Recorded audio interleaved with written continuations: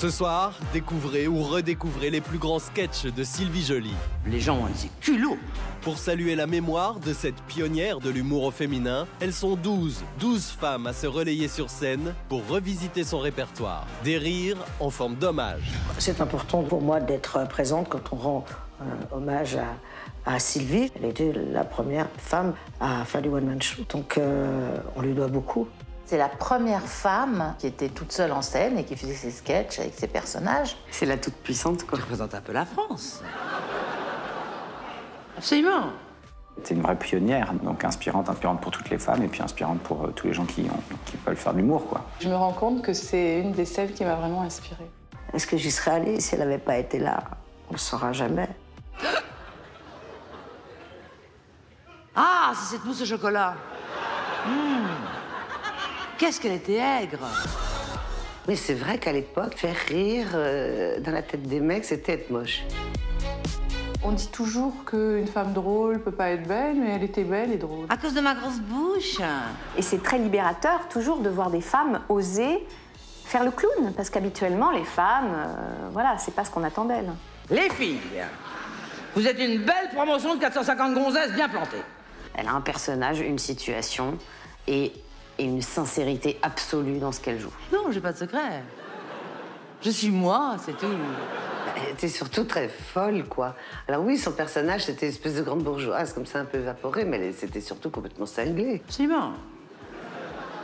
Absolument.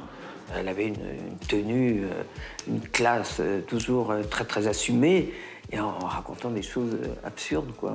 Pendant tout le spectacle, je me gratte. Je me gratte, c'est tout. Elle radiographie tellement euh, violemment, lucidement ce milieu bourgeois que ça peut faire penser à de la délinquance. Ah oui, oui, oui, c'est ça. Exactement, une bourgeoise délinquante. Très bien, bourgeoise délinquante. Je sais pas comment on fait les deux, mais euh, on peut. La preuve. La Côte d'Azur, Saint-Tropez, c'est plus tolérable. Il y en a ras-le-bol. Ras-le-bol. C'est un exercice de style qui est extrêmement difficile. Moi, je les appelle les guerrières là. En répétition, je, je, je voulais pas rester. J'avais une peur horrible et je voulais partir. J'étais plus qu'au bord des larmes, j'étais comme sous une douche. Rien ne pouvait plus faire plaisir à maman que cet hommage.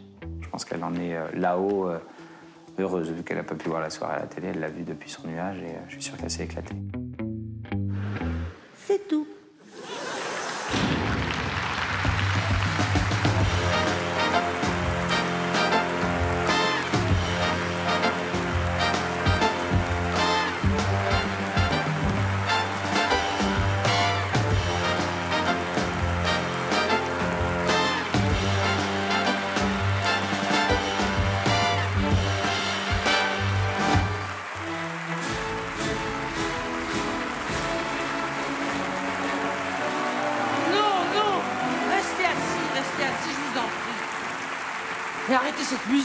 Arrêtez Arrêtez, c'est ridicule.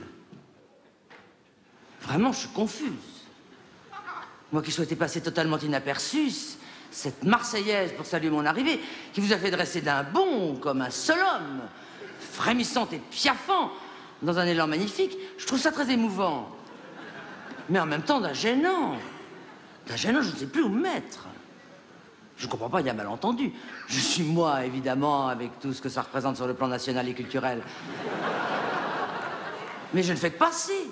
Je suis venu comme ça en coup de vent, désinvolte, incognito, habillé de trois fois rien, coiffé. coiffé à la diable. Histoire de perdre avec vous cinq minutes, un quart d'heure tout au plus. Mais surtout, surtout que personne ne se dérange pour moi. Je vais me mettre, je ne sais pas, moi, n'importe où, à la plus mauvaise place. Derrière ce pilier. Tenez, dans un coin. Au milieu des saletés, des poussières, des ordures. Tout au fond. Pour pouvoir sortir en A dès le premier bâillement. Ça, vous savez comment je suis. On ne peut me retenir que si on m'offre un chef-d'œuvre. C'est un chef-d'œuvre où je pars, je m'en vais c'est tout, il n'y a pas à discuter. D'abord, qu'est-ce qu'on donne ici en ce moment? Je n'ai même pas eu le temps de consulter le programme. Je sais seulement que je suis invité une fois de plus, qu'on tient, c'est bien normal, à ma présence pour donner un peu d'éclat à une générale dont il faut bien dire, hélas, bon, enfin, n'en parlons plus. Je suis là, je resterai cinq minutes, je sourirai au photographe. Je ne vais pas en faire un drame. Voyons un peu qui va nous emmerder ce soir. Comment qu'est-ce que. Non mais. Non mais c'est une plaisanterie. Non mais c'est pas possible, je rêve. Mon nom est allé là. Moi, ici. Il n'en est pas question. Abs- Absolument pas. Merde.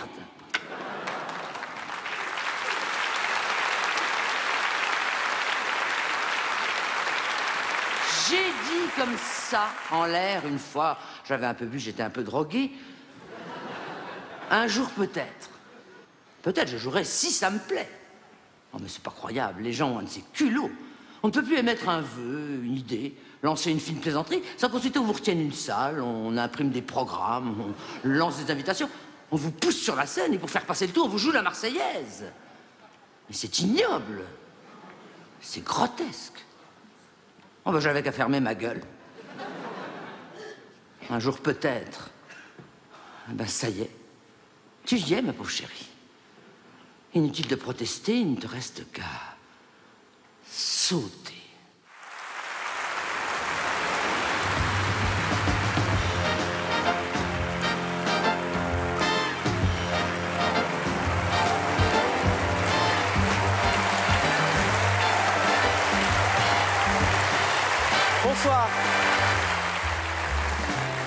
Bonsoir aux fans de Sylvie Joly et bonsoir à ceux qui ne connaissent pas l'œuvre de Sylvie Joly. J'avais prévu il y a quelques mois de dire bonsoir Sylvie Joly, car je préparais cet hommage pour qu'elle le voie de sa chambre, où elle était retenue par la maladie de Parkinson, et qu'elle voie à quel point nous étions nombreux à l'admirer et à admirer ce qu'elle avait fait pour l'humour au féminin pour l'humour tout court. Sylvie m'a tout appris, vraiment tout. L'essentiel en tout cas. Et je crois qu'elle a été un guide pour beaucoup, beaucoup, beaucoup d'entre nous. Alors, pour fêter l'œuvre de Sylvie, et surtout pour montrer que la plupart de ses sketchs n'ont pas pris une ride, je me suis lancé dans ce pari un peu fou de faire jouer ses plus grands sketchs par beaucoup de nos plus grandes actrices comiques françaises. Alors, toutes les femmes drôles qui aiment Sylvie Joly ne pouvaient pas être là ce soir, mais 11 d'entre elles ont dit oui tout de suite. 11 d'entre elles et un homme, vous verrez, c'est une surprise. Enfin non, c'est pas une surprise, c'est Alex Lutz. et... Et moi, je vais me régaler à les accueillir une par une, en les interviewant après leur sketch, pour qu'on profite un max d'elles. Parce que je vous jure que ce n'est pas rien, le temps d'un soir, de réunir Carole Bouquet, Muriel Robin, Claire Nadeau, Anémone, Valérie Mérès, Anne-Elisabeth Blateau, Michel Larocque, Valérie Carcenti, Catherine Liegel, Valérie Mercier, Alex Lutz et Mathilde Vitry, la fille de Sylvie Joly.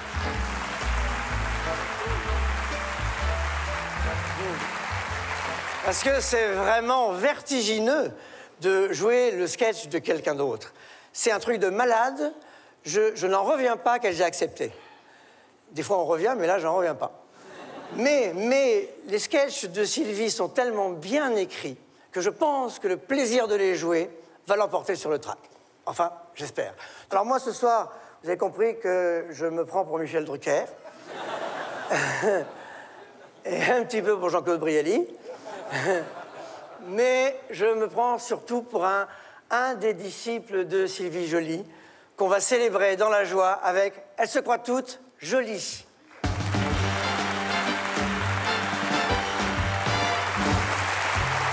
Alors, on va faire un jeu. Comme je sais qu'il y a des fans de Sylvie Joly euh, dans la salle, devant leur poste, et je sais qu'ils connaissent les sketchs de Sylvie Joly par cœur, je vais vous demander lequel va jouer Carole Bouquet. Carole Bouquet qui va ouvrir le bal ce soir. À votre avis, est-ce qu'elle va jouer Catherine, la bourgeoise Est-ce qu'elle va jouer Madame Touchard Ou est-ce qu'elle va jouer l'après-dîner que certains appellent la mousse au chocolat? Eh bien, vous allez voir tout de suite la réponse en accueillant la grande, l'immense, la très amusante Carole Bouquet.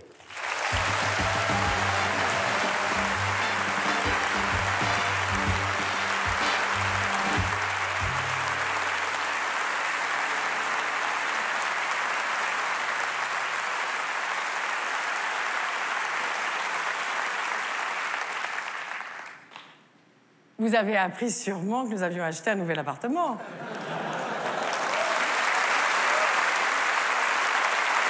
Non Vous ne le saviez pas Sensationnel. On a tout refait naturellement. Ça m'a beaucoup amusé, Philippe et moi. Euh, on a repensé entièrement l'aménagement et la décoration. Et je suis ravie parce que tous les amis qui viennent chez nous me disent Catherine, cet appartement est formidable. C'est un appartement qui, qui raconte une histoire, qui est chaud, qui vit.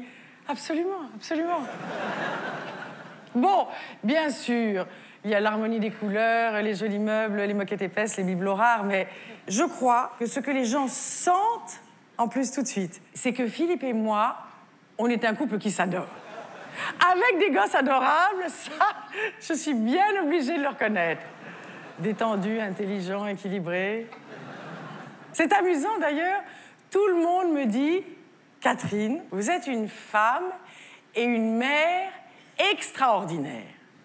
Pour réussir aussi bien avec Philippe et les enfants, vous avez sûrement un secret.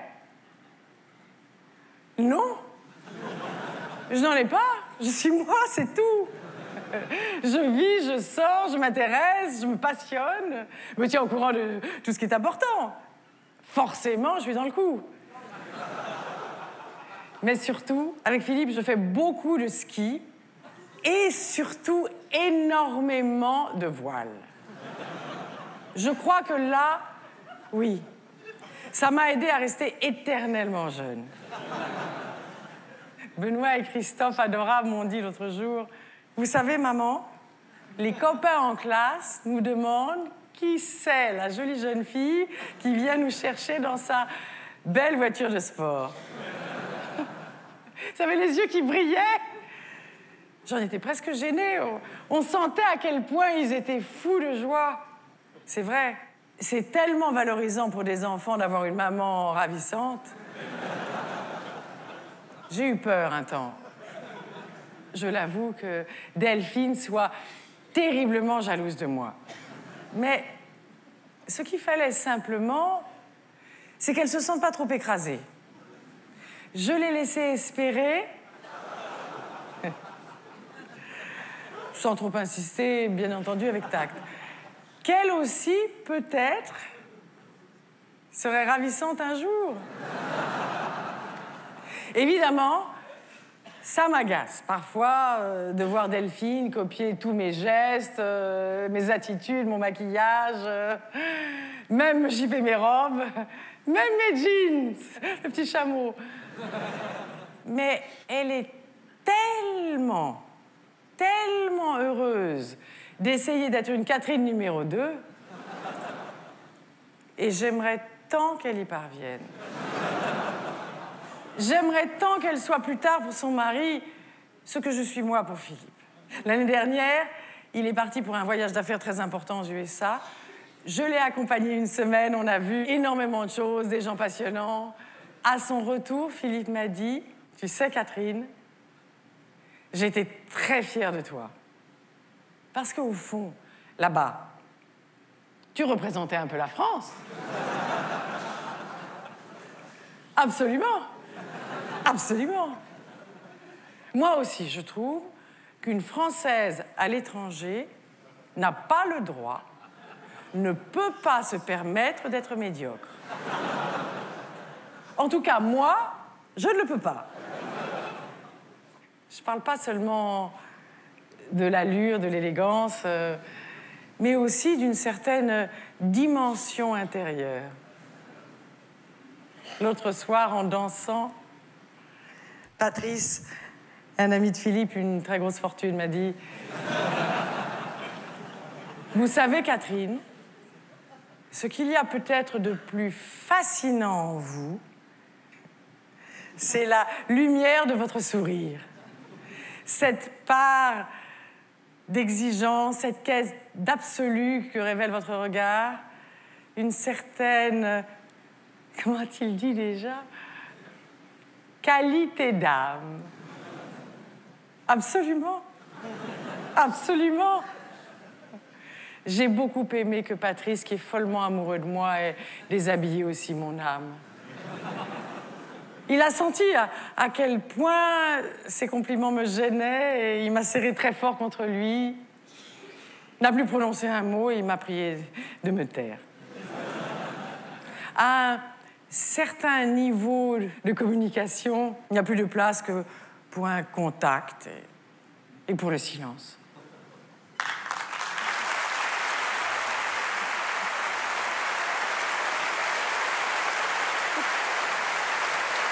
Oh là là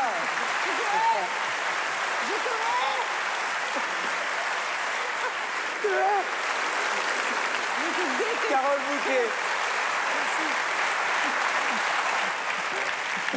T'as vu Je t'avais promis que les gens reconnaîtraient les premières phrases. Oui, mais c'est mieux, c'est pire. Pardon. Ça va Ça s'est passé tranquillement, ces répétitions tu... Ben, tu étais témoin, tu sais que c'était horrible, que j'ai voulu partir, que je t'ai haï, que le plombier chez moi s'est fait insulter ce matin. Il a eu le bonheur de venir avec l'huissier pour euh, vérifier une euh, fuite d'eau, je plaisante pas du tout, hein, chez mon voisin qui m'a vu débarquer comme une cinglée, ivre de rage. J'ai failli la perdre, donc euh, si vous voulez. Non, je me demandais, est-ce que t'as... absolument, absolument. Je me demandais... C'est ça qu'il m'a fait passer en premier. Hein. C'est parce que sinon, il savait que je partais. Ouais. Parce que Là, c'est bon, le, le gros est passé, si je puis dire. Enfin, euh, Est-ce que tu as déjà essayé d'être drôle pour séduire un homme? Non, j'ai jamais osé, non. On a envie de se demander, voilà. Hein Carole Bouquet, de temps en temps, a recours à l'humour pour, pour séduire. C'est un abîme qui s'ouvre devant moi, là. Euh, oui, mais, mais en petit comité, vous voyez ce que je veux dire Tu m'avais dit que ça les faisait fuir. Personne. Oui, en général, une femme qui fait rire, mais je l'avais vue autour de moi, donc j'y allais quand même très très doucement. Les hommes partent. Ça vous fout les- ça, ça- ça leur fait peur, ça... Voilà, ils aiment pas trop ça. Il y a euh, ouais. Est-ce que tu connais Pas Muriel vous, pas vous, pas vous. elle me, elle me laisse parler, et peut-être qu'elle me reprend derrière. Parce qu'en ce moment, oui, alors vas-y. Ah, vas-y. Est-ce que tu connais Parce qu'il y en a d'autres qui viennent. Oh. Non, parce qu'on y prend goût, hein. Ça, je vous le dis, ça.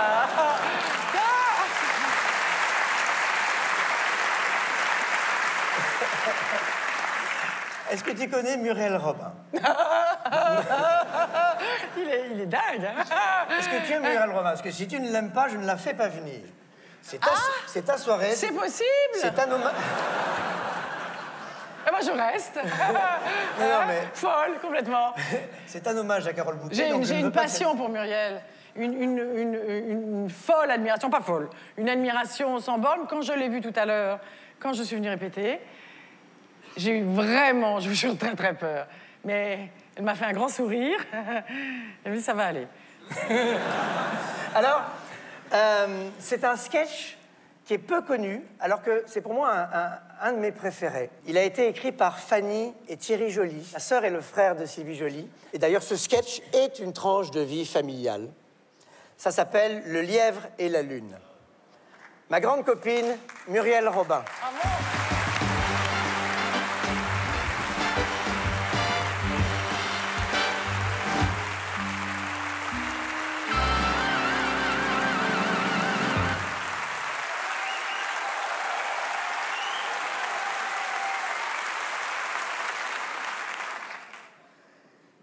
Brider les gésiers dans le sens inverse de la poche interne. Brider les gésiers dans le sens inverse de la poche interne. Malaxer soigneusement les abats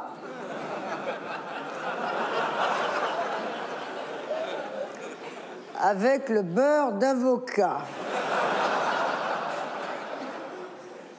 Ma... C'est curieux ce que ça pue, le lièvre. Pourtant, la nature, ça sent bon, les fleurs, le foin, la pluie sur les prés, tout ça, mais alors le lièvre? Ça doit être pour ça qu'elle nous l'a donné. Ou alors c'est celui-là. Il a dû bouffer dans les poubelles, je sais pas. Alors, hein Quoi, mon chéri Hein Ben, euh, Entre, j'entends pas. Hein Quoi Ben, Entre ou sors, mais reste pas planté au milieu. Hein Quoi Non, euh, je suis pas malade, c'est le lièvre. Le lièvre que Mamie Bou nous a offert. Elle vient pas plus tard que dans une heure le déguster sous forme de pâté à l'avocat. Oui, parce qu'elle fournit, fournit la, la recette aussi. Hein quoi, Qu'est-ce que tu comprends pas Hein? C'est en classe? Oui, bon, allons bon. Hein? Non, attention, pousse-toi. Tu vas salir mon lièvre avec ton livre. Ah. Écoute, Jaco, vraiment, c'est pas le moment. Hein. Faut écouter en classe quand le professeur parle. Hein. euh, moi, euh, là, maman, euh, elle a pas le temps. Non, vraiment, par esprit de famille, je suis en train de faire un travail que beaucoup d'infirmières refuseraient de faire. Hein? Bah, bah, va, va demander à papa. Hein? On sait jamais. Voilà. Alors, bon, il est plus là Il est plus là. Alors, euh, donc, malaxer soigneusement. Quoi? Mais bon sang, mais fermez cette porte Maxime, Nicolas, Coco, Sandrine, sortez de cette baignoire. Je ne veux pas vous voir dans cette baignoire avec vos chaussures de foot, vous rayez les mailles. Bon, bon, enfilez vos peignoirs, hein, faites-vous une raie bien mouillée, Mamie Bou vient dîner. Oh. Hein, quoi Quoi Hein Quoi Papa Il est au cabinet? Eh Ben c'est bien, c'est bien. C'est bien, il va sortir, hein? Comment il dit qu'il veut pas? Bah tu vois Jaco, voilà ce qui arrive, voilà ce qui arrive quand on n'écoute pas en classe. Après, quand on est grand, hein, on s'enferme dans les cabinets et on dit qu'on veut plus sortir. Quoi Bon, alors qu'est-ce que tu comprends pas? Quoi? Non mais il est 8h moins le quart, moi je, te jure j'ai pas le temps. Hein. Avec Mamie Bou, là, qui, va donner ce lièvre, hein, qu'elle a gagné à son bingo. Que moi je lui ai rien fait, c'est sur moi que ça tombe. Les journées que j'ai déjà, moi, tu vois pas. Tous les soucis qu'on a avec ton père, surtout d'ailleurs, moi avec ton père. Bon, alors c'est quoi Qu'est-ce que c'est que tu, tu comprends pas? Vas-y, alors euh, récite. Allez, vas-y, hein? Quoi? Il faut répondre à une question? Eh ben dis-le, t'es là, tu, tu restes planté là, tu dis rien. Bon, alors c'est ça la question? Eh ben voilà, alors. La Terre tourne autour du Soleil sur une orbite légèrement elliptique et tourne sur elle-même autour d'un axe non perpendiculaire à la base de son orbite. Elle accomplit sa rotation en 365,2563 J. La Lune tourne autour du Soleil et accomplit sa révolution en 29 J 13 H. Représentez et commentez ce que voit un observateur qui regarde en direction de la Lune et du Soleil le 21 mars.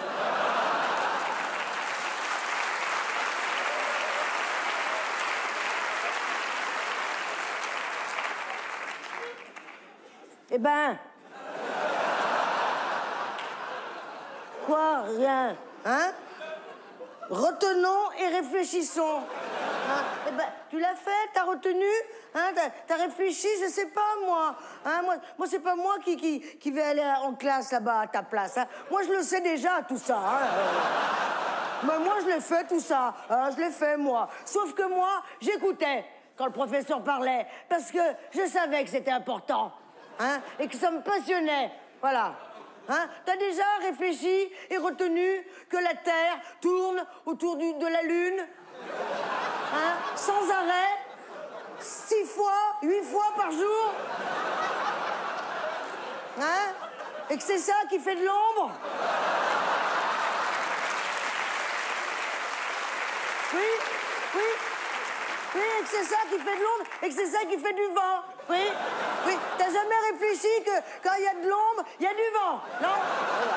Non, tu t'es, jamais posé la question hein? Retenons et réfléchissons. C'est écrit en toutes lettres. Ah, même ça pour la télé, là, là, là, là, là, ça tu la regardes. hein. Alors, tu prends ton bic et tu notes. Allez. La Terre tourne autour de la Lune. De la Lune. J'avais dit combien? Huit fois? C'est peut-être beaucoup. Mettons six fois. Attends. 4 fois 6, 24. euh, non. Mettons 4 fois. 4 fois, c'est bien. Voilà. J'ai dit 4 fois, tu mets 4 fois. Point. Hein? De toute façon, c'est très, très difficile de dire exactement. hein. Ça, dé- ça dépend de plein de choses. Hein. Et puis, tu veux pas être cosmonaute, non? L'important, c'est que tu saches que ça existe. C'est pas à la virgule près. Hein. Ah. Tu mets difficile de préciser en l'état actuel de la science.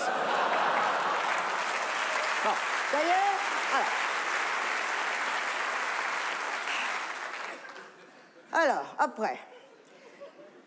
Quand le temps est clair, l'observateur peut voir des petits gésiers. Quand le temps est clair. Hein? Quoi, il n'y a pas de gésier sur la Lune? Ça veut dire quoi, ça? Ah Ah non, bon sang, c'est pas possible, c'est elle. Elle le fait exprès. Hein Eh ben, c'est qui? C'est Mamie Bou, Mamie de Bougival, elle arrive. Ne fais pas exprès, toi aussi. Hein Non, qu'est-ce qui te prend? Tu restes tranquille. Ton père va l'ouvrir, la porte. Eh, c'est sa mère, quand même, non? Oh Bon, quoi? Tu vas aller demander à Mamie, elle, elle saura. Tu, tu restes là, je t'interdis d'aller embêter Mamie, qui est à la retraite, avec ça. Hein Bon, quoi? Mais te fais pas de soucis. Que- est-ce que je me fais du souci, moi? Non Hein? Tu vas voir. Maman va t'arranger tout ça, tu vas voir, ça va être vite fait, d'un seul coup, tu vas voir. Hein? Hein Ferme bien la porte, ferme la porte, ferme la porte. Regarde, voilà. Hein regarde ce qu'il va faire maman. Hein Donne-moi ton livre, regarde. Ah, Regarde, regarde. Hein, regarde comme il est beau, ton livre. Hein Attends, ah non, touche pas, faut que ça prenne. Hein ah non, faut que ça masque bien tout. Hein Voilà. Hein. Hein Ça te plaît? Non? Bah pleure pas. Pleure pas. Tais-toi. Mais pleure pas, voyons, Jaco. Hein? Pleure pas. Hein? Allez, tiens, passe-moi ton bic. Regarde. Hein? Tu sais quoi? Hein? Maman va te faire un mot. Maman va écrire que Jaco, qui savait très bien la lune, il a fait un petit vomi. Et que la réponse est dessous.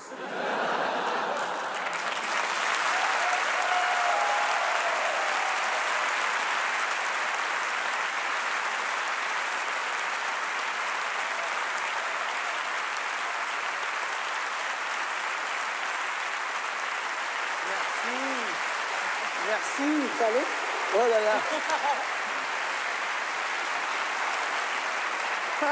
Ah là là.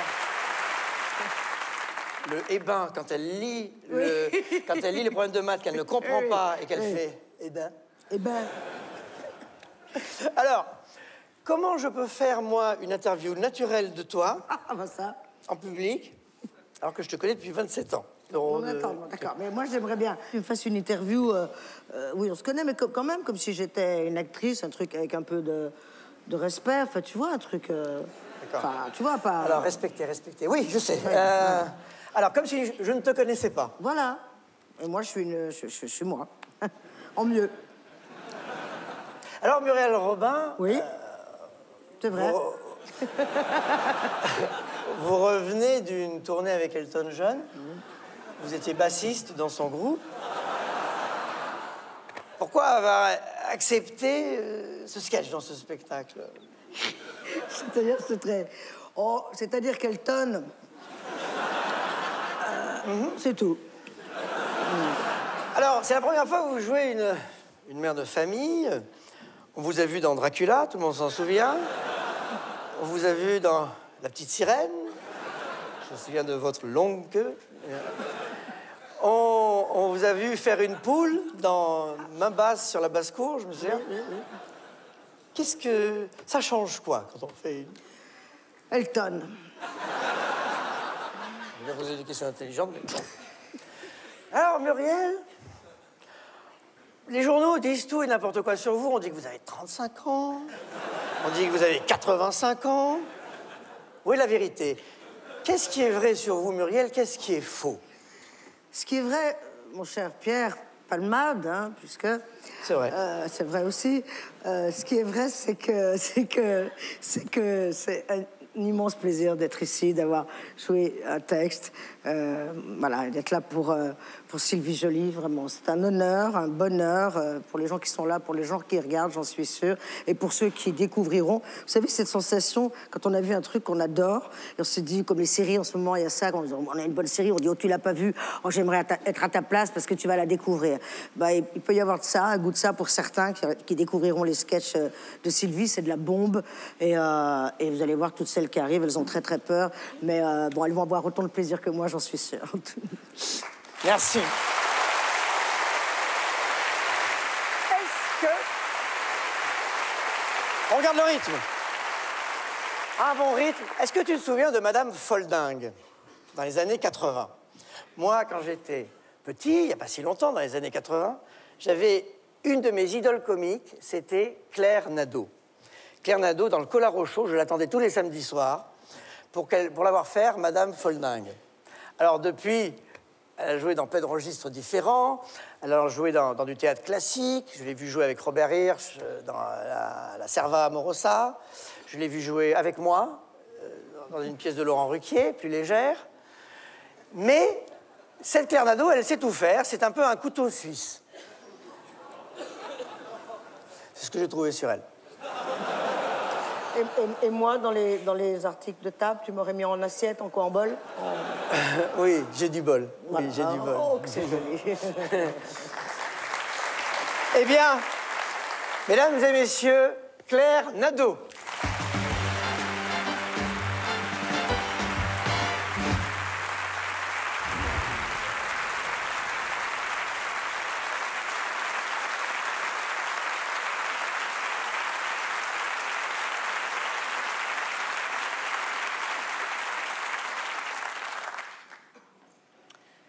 La petite annonce dans le journal nous a fait une assez grosse impression. Ça disait Coquemez, PA plein sol, 150 K Pario, et P impec, 140 000 E. On a presque tout compris. Coquemez. Ça voulait dire coquette maison. PA plein sol. Ça, c'était clair. Hein. Poutre apparente plein soleil. 150K Paris haut. C'est à l'ouest que ça se situait. Il n'y a que euh, Et P impec qui nous a résisté. On est parti à plein gaz à 9 heures. Quand on est arrivé, il était 2 heures. Je me suis dit, on a dû prendre un chemin compliqué. Le monsieur m'a rassuré, pour ainsi dire. 150 kilomètres, un vol d'oiseau. Ça fait quand même un peu plus par la route. Et vous avez dû bien rouler, au contraire. Le petit a demandé euh, Maman, pourquoi ça sent le camembert quand le monsieur parle? J'ai pas su quoi répondre. Le monsieur a continué. Alors, ici, double living si vous voulez. Il suffit de dégager les crottes de chèvre et de demander à l'entreprise du coin. La chambre des enfants, je la verrais bien euh, là-bas avec la salle d'eau, là où il y a les tonneaux avec euh, les pigeons dessus. À la place du tracteur, vous pouvez la. Ah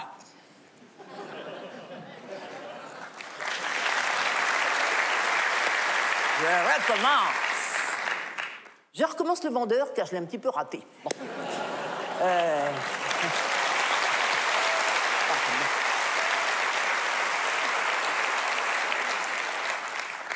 À la place du tracteur, on pourrait faire la chambre des parents. Je bafouille, c'est lamentable. Oh Oh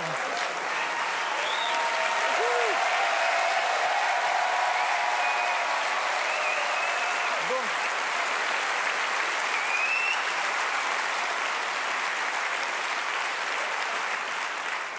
Vous avez un petit peu compris le problème. Merci Pierre. Donc, elle a passé une annonce. qui dit coque-mèze, P à plein sol, être P un pec, 150 000. Oh. Fais là, tu l'as fait mieux Non, que non, moi. non, non. Elle arrive et voilà ce que lui répond le vendeur. Merci beaucoup, ça m'arrange bien. Euh, Alors, ici, si vous voulez.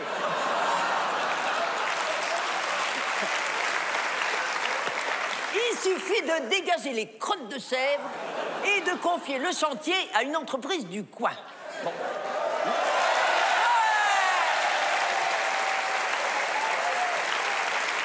La chambre des enfants et la salle d'eau, je les verrai bien là-bas. Là où il y a les tonneaux avec des pigeons dessus. À la place du tracteur, on pourrait faire la chambre des parents. On bétonne tout ça à sec. Bon, pour l'électricité, c'est pas compliqué, vous vous en occupez.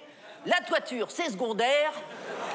Deux ans de boulot et pour une bouchée de pain, toute la bicoque est transformée en un véritable bijou. Qu'est-ce que vous en pensez?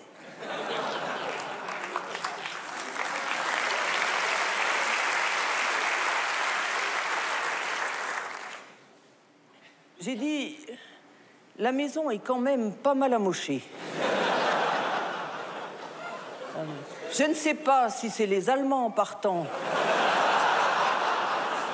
ou les Américains en revenant qui l'ont laissé comme ça. Mais moi, je trouve pas l'état vraiment impeccable. Mais enfin, madame, on a écrit être P impec. Ça veut dire état presque impeccable. Bah, pour 140 boules, euh, quand même, euh, madame, faut pas rêver. Des poutres apparentes, il y en avait aussi dehors. J'ai dit, monsieur, moi, j'appellerais plutôt ça des étais. hein. Vu qu'ils sont appuyés sur les murs et que si je shoote dedans, je suis pas sûr que votre résidence va rester debout. Non, la seule chose qui existe vraiment, c'est les 1500 mètres carrés de jardin. Seulement 500 mètres de long sur 3 mètres de large. C'est difficile à aménager en jardin à la française. Un peu d'imagination, madame. Avec ça, vous faites une piste de fond sensationnelle. Et la maison sert de clubhouse. Et il a ajouté avec un sourire plein de malice. D'ailleurs, il faudrait que vous me donniez une réponse assez rapidement. hein. Il y a beaucoup de personnes intéressées. Bah, c'est normal, c'est une affaire. Hein, vous pourrez me dire d'ici un quart d'heure Je dis, oh non, monsieur, même pas. Je vous appelle dans cinq minutes. Dès qu'on sera rentré à Paris.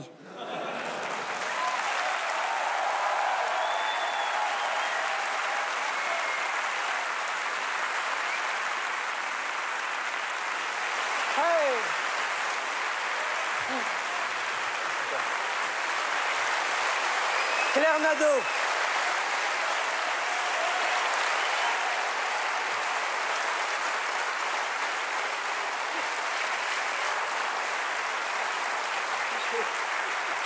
Une de mes idoles. La pauvre femme. On s'en est sorti quand même. Bien, bien, bien, bien rattrapé, l'immobilier. Alors, franchement, écrire, je ne sais pas si c'est les Allemands en partant ou les Américains en arrivant, cette phrase me fait hurler de rire. Je crois qu'on peut faire une carrière avec cette phrase. Et les femmes comiques que tu aimais avant Sylvie Ben, j'ai- j'aimais bien Maillan, mais euh, j'avais une petite euh, tendresse pour Sophie Desmarais, que je trouvais absolument délicieuse, mais qui ne faisait pas de sketch, qui, jouait dans des pièces. Elle était charmante, drôle. Et une question, est-ce que tu préfères jouer avec Robert Hirsch ou avec moi?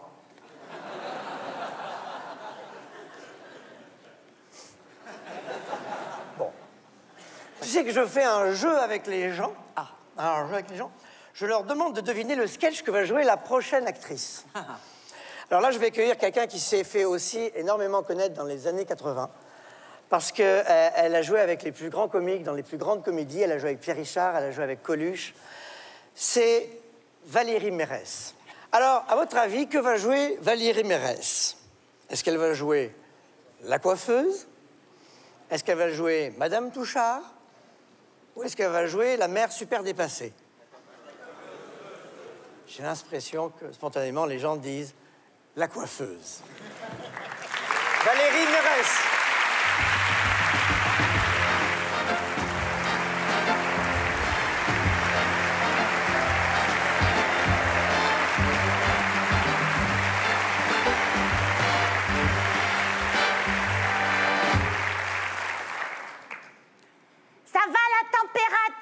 Barbier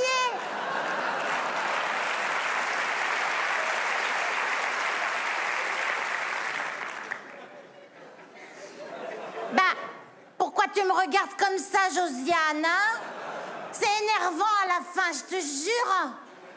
C'est parce que tu trouves que mon rouge est trop vif à cause de ma grosse bouche. Eh ben moi, je vais te dire une chose, Josiane. hein. C'est parce que je ne suis pas insensible aux magazines. Ils disent actuellement, faut forcer sur le rouge. Seulement moi, je me rends compte. Enfin, si ça fait vulgaire, Josiane, je préfère que tu me le dises en bonne camarade. Parce que moi, je vais te dire une chose, j'ai horreur de la vulgarité.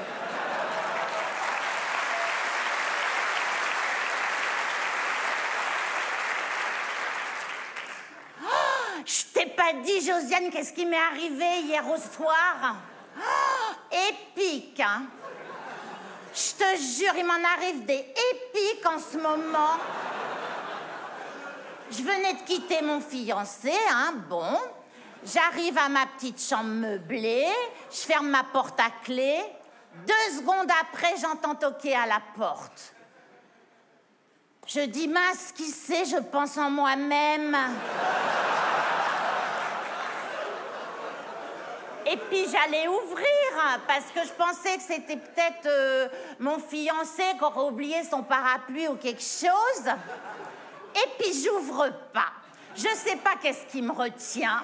Comme un genre de. Comment qu'on appelle déjà. hum, Mince, euh, pas un préjudice. euh, un pressentiment. Deux secondes après, tiens-toi bien, Josiane, j'entends un barouf.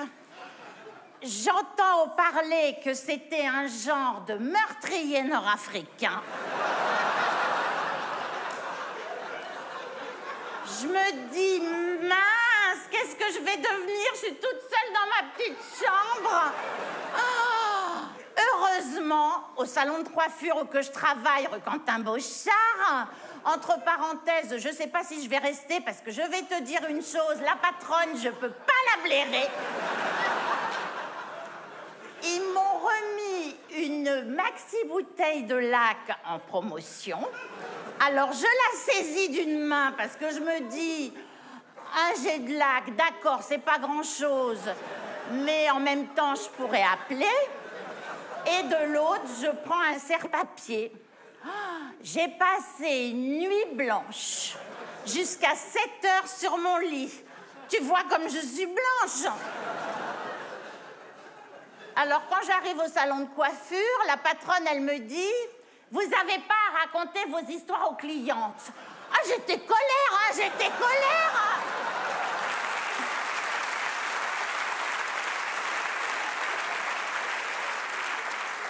Je lui dis, mais enfin, Janine Parce que quand je m'énerve, hein, je te dis pas, hein. Oh là là Ça m'empêche pas de faire mon travail. Je fais un brushing, je pose des rouleaux, je fais un massage du cuir chevelu à ma barbier. C'est pas elle qui l'a vécu, mince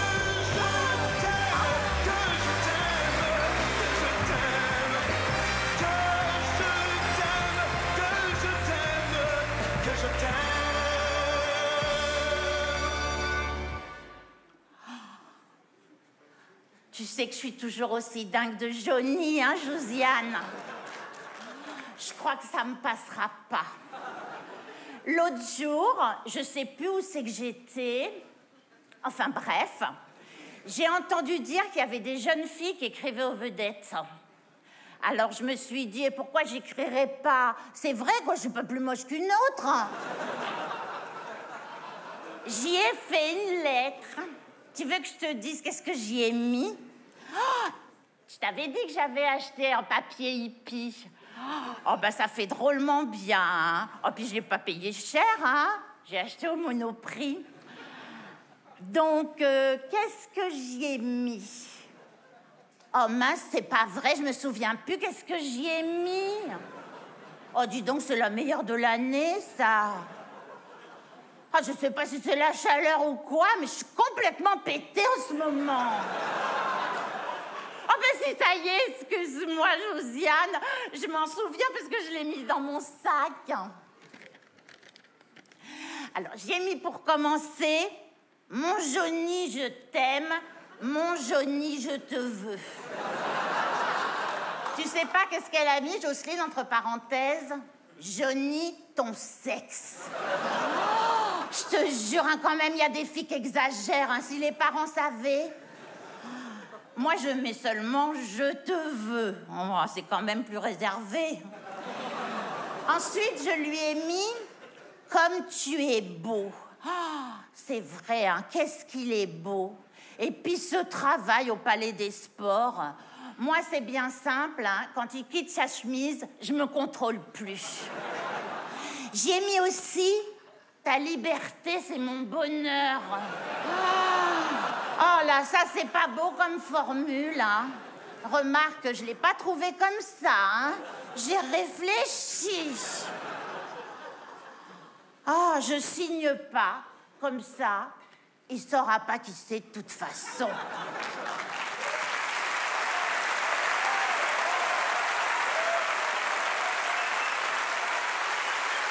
Valérie Mérès. Oh, oh. Incroyable.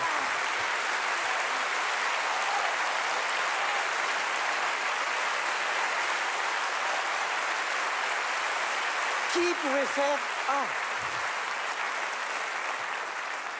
Ça fait un petit massage du cuir chevelu, pas mal. Oui.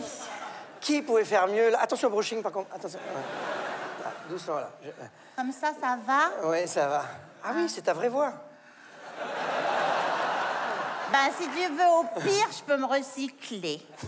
Parce que je me disais, quand même, il y a, il y a 30 ans, on te faisait jouer quand même pas mal les bécasses, euh, les bimbos, mais les bécasses. Et je me dis que 30 ans plus tard, je te demande de refaire une bécasse. Alors, il y a une question qui me vient. Est-ce que je suis vraiment conne?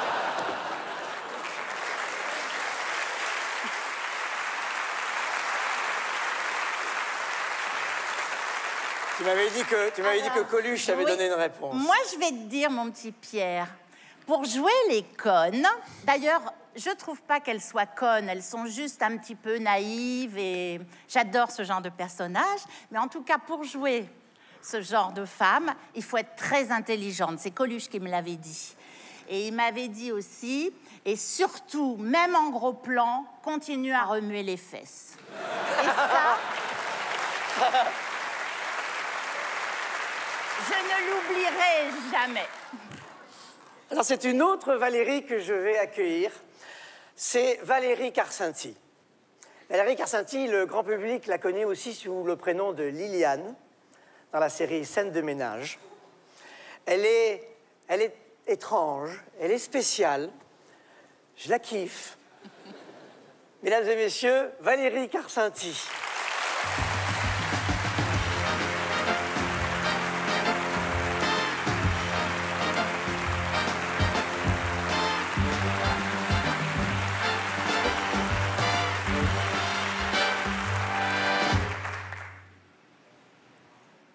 C'est dur d'être drôle.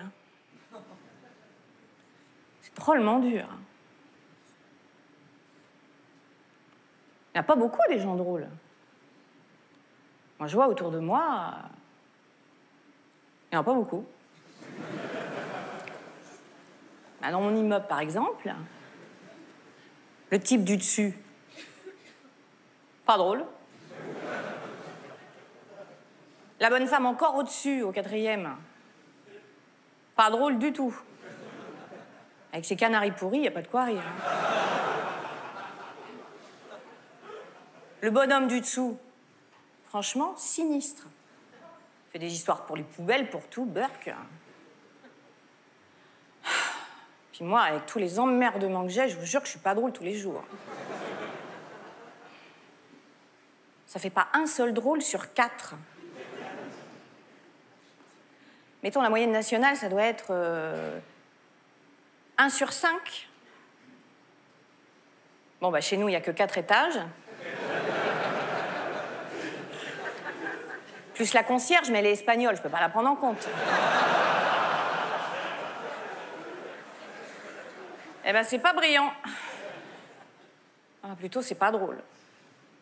Non, je pense à ça parce que mardi, j'ai déjeuné avec un type, un impresario, qui m'a dit il m'a dit il y a des gens qui sont tellement drôles qu'en lisant le bottin, ils sont drôles. Et c'est ceux-là qui se font du fric. Il m'a dit réfléchissez-y. tellement drôles qu'en lisant le bottin, ils sont drôles.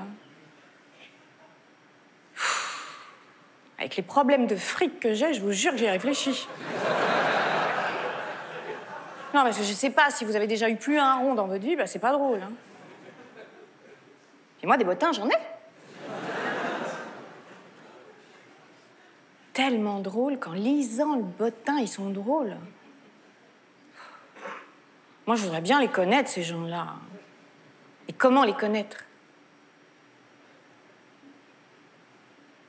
Bah, Dans le bottin, peut-être. Ah oui, ils y sont si ça se trouve. Et oui, ils doivent y être.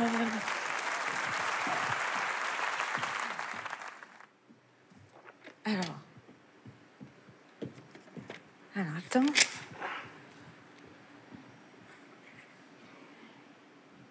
Tiens, alors, Guermeron Simone. Est-ce qu'elle est drôle? 24 rue du Petit Thouars. Guermeron Simone, vous la connaissez? Non? Non, moi je sais pas, je connais pas. Hein. Moi je connais une Simone, mais c'est Simone Choucard, c'est pas la même. C'est pas ça. En plus, elle est pas drôle, Simone Choucard. Elle est franchement immonde. En 92, on avait acheté une 4L ensemble, elle s'est barrée avec, elle m'a laissé le cric, un pneu crevé. Camion Henri, boulevard Suchet, dans le 16e. Dans le 16e, les gens, ils n'ont pas envie de rire avec l'impôt sur la grande fortune.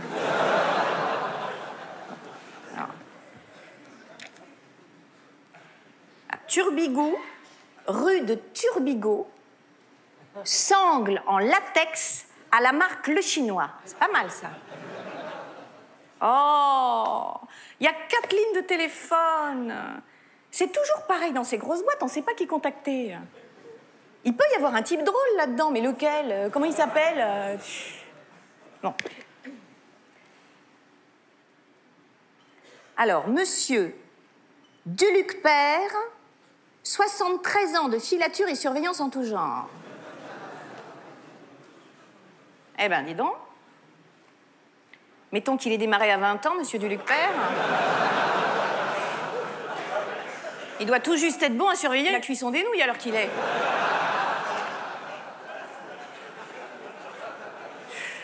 pas drôle. hein. Non, mais là-dedans, c'est comme partout. Il doit y avoir un type drôle sur cinq, mais lequel? Hein? Tiens, tenez, alors, à votre avis, hein, qui de? Bonal Gaston, Bonal Georgette, Bonal Louis, Bonal Pierre ou Bonal Pierre?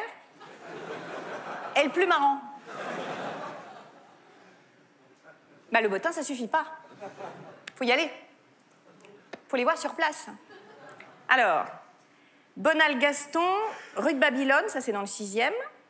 Et l'autre, oh, Boulevard Diderot, c'est à l'autre bout de Paris. Moi, j'ai pas de bagnole, j'ai pas de fric. J'ai mal aux jambes, j'ai les pieds qui gonflent. C'est inhumain, des trucs comme ça. En plus, avec les conneries de moyenne statistique, si ça se trouve, c'est pas forcément un sur ces cinq-là. Alors moi, je traverse Paris, puis mettons, c'est euh, Bonne Altérèse, rue Quincampoix, la fève dans la galette.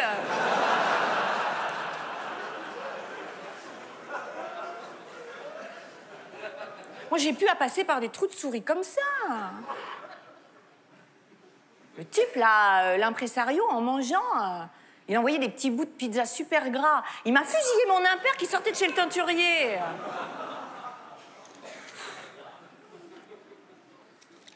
Tellement drôle, qu'en lisant le bottin, ils sont drôles.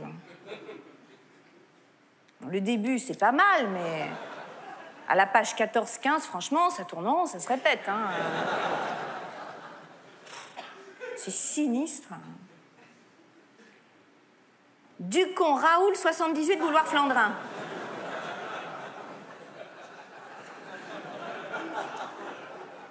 Un Ducon Raoul, ça fait rire les gens, ça. Un Ducon Raoul, il ne doit pas trouver ça drôle tous les matins. Ah, tiens. Mademoiselle Bernadette Brandel, ouvrez Ouvrez, nous savons que vous êtes là. Ne cherchez pas à nier. Nous savons que vous habitez 26 rue Visconti.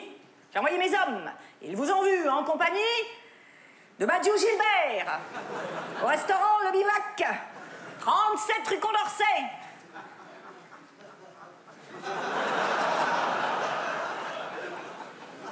Bonjour, euh, je vous présente euh, Monsieur Bonafou Albert, euh, mon podologue conseil, qui habite à deux pas de chez moi, boulevard Chartier.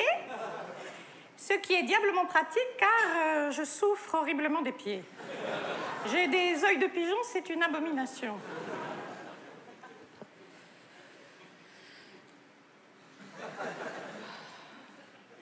Alors? C'est drôle, c'est pas drôle, je sais pas moi. Est-ce qu'il y a moyen de gagner du fric avec ça?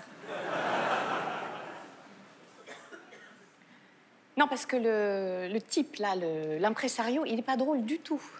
Alors comment il peut savoir ce qui est drôle? Hmm? Moi, moi, moi, ça me rend malade tout ça. Hein, moi, je vais tomber malade avec ces histoires. hein. Déjà que j'ai pas la vie drôle, si c'est pour tomber malade en plus, merci. hein. Je vais l'appeler. Doit être dans le bottin. Et puis s'il trouve pas ça drôle, je balance la note de pressing de mon impère. Alors ça, c'est peut-être pas dans le bottin, mais moi, ça me fera rire.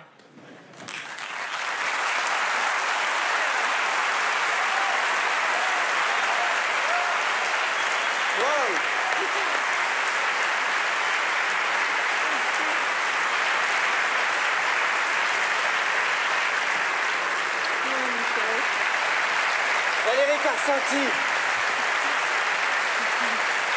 Un sketch très rare de Sylvie. Ah, Ça y est Tu l'as fait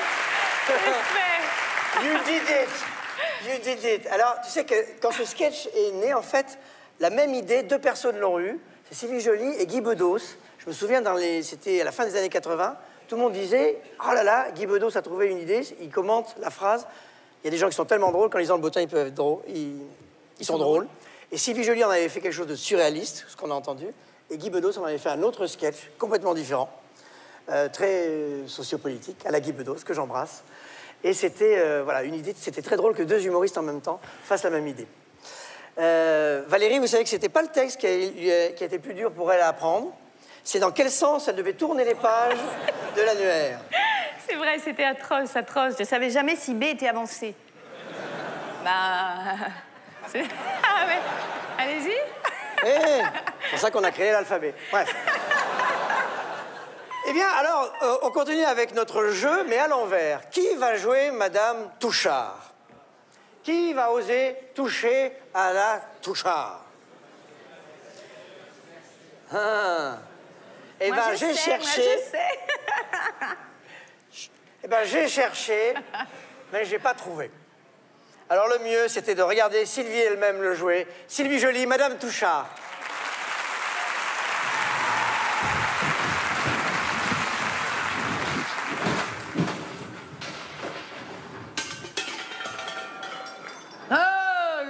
Ce matin, cette corrida. J'étais tout en noir. Alors, comme si j'en avais eu l'instinct. Faut dire que je commence à la connaître, la musique. Comme dit Roger, pour ce foutu permis de conduire, tu vas nous taper la douzaine. À ce prix-là, on aurait pu se payer un carré de patates. T'aurais pas besoin d'un permis pour aller les biner. Euh, là, le salaud. C'est pourtant vrai que c'est la huitième fois que je cale. Pour ce malheureux papier rose. Euh, là, la dernière fois, torché. Il m'a torché, l'inspecteur, il n'y a pas d'autre mot. J'aurais dû me douter qu'il y avait un piège. Il monte un panneau comme ça.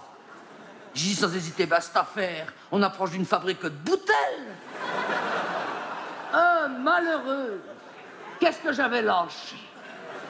Mam Touchard, vous venez nous sortir une énormité sur le plan du code. Ça signifie rétrécissement de chaussée. Il y a nuance qui me fait. Euh, là, le. Moi qui avais apporté cinq poudriettes du Mans. Comme dit Roger, rapport au résultat, t'aurais aussi vite fait d'y filer un sac de betterave. Euh, là, le. Pourtant, ce matin, j'étais bien prête, franchement, bien en jambes. Juste avant qu'il arrive, Mme Favert, qui passe pour la cinquième fois seulement, elle s'approche, tout d'un coup, elle me lâche ça. Il m'en a dit belle, monsieur l'inspecteur, sur vous, Mme Touchard. Moi qui croyais que vous touchiez au but pour le permis. Il m'a dit la grosse Touchard, là-bas, à l'école de conduite, on l'appelle la truie au volant. Grosse comme elle est, je me demande comment elle fait pour enfiler la clé dans le contact. Ça, il vous portera dans son cœur, Mme Touchard. Il a même ajouté, moi vivant, elle l'obtiendra jamais. Euh, là, c'est pas Dieu possible. Le mauvais bougre. Lui qui m'avait dit, Mme Touchard, vous n'êtes pas mal douée. Mme Touchard, prenez patience. Vous touchez au but. Sous le choc nerveux, j'étais comme ça. Une vraie boule de nerfs. Juste à ce moment-là, le vlac arrive dans sa cime Camille. Roger m'a dit, v'là ton bourreau. Il vient vers moi, tout sucre, tout miel. Il attendait sans doute quelque chose comme un pâté ou un poulet. Mme Touchard, c'est à nous. Mme Touchard, cette fois-ci, on est raisonnable. Eh, prenez place, Mme Touchard. Les enfants, ça pousse. Euh, là, le Judas. De quoi que tu te mêles, j'ai envie d'y faire. Moi, j'étais comme ça. Le rétro, le quignon, la ceinture, Mme Touchard. En fait, à nous deux, il n'y a pas moyen de l'accrocher.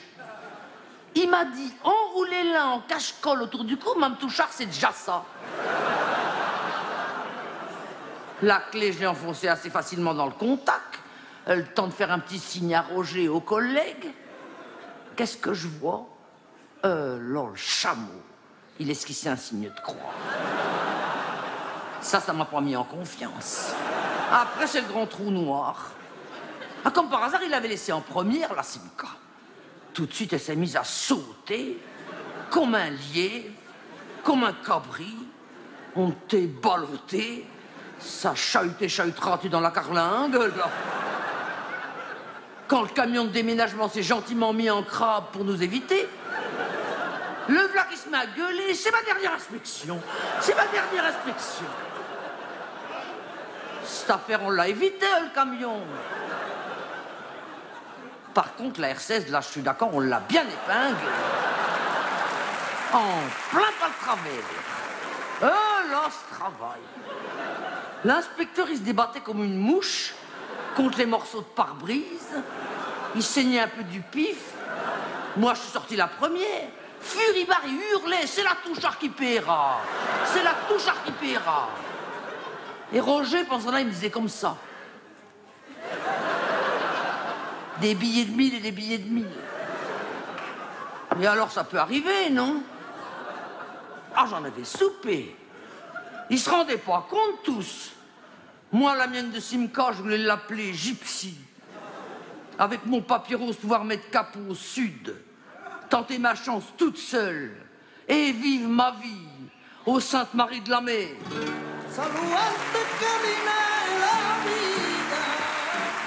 Je l'ai découvert dans Gazon Maudit avant de savoir qu'elle avait fait les beaux jours de la comédie française. Mesdames et messieurs, Catherine Yegel.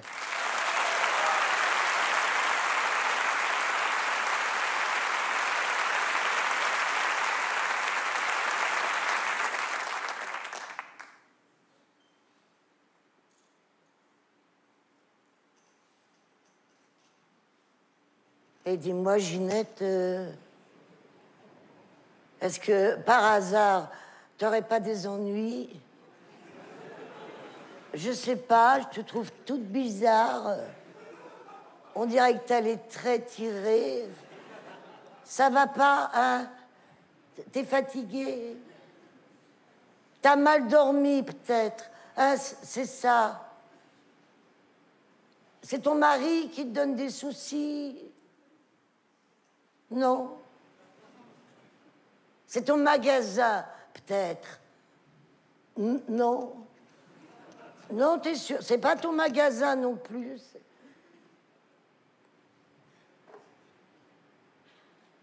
Ton papa. Alors, hein? C'est ton papa.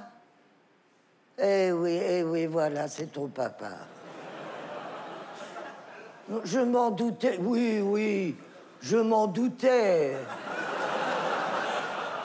Je voulais pas t'en parler pour surtout pas être indiscrète, tu penses.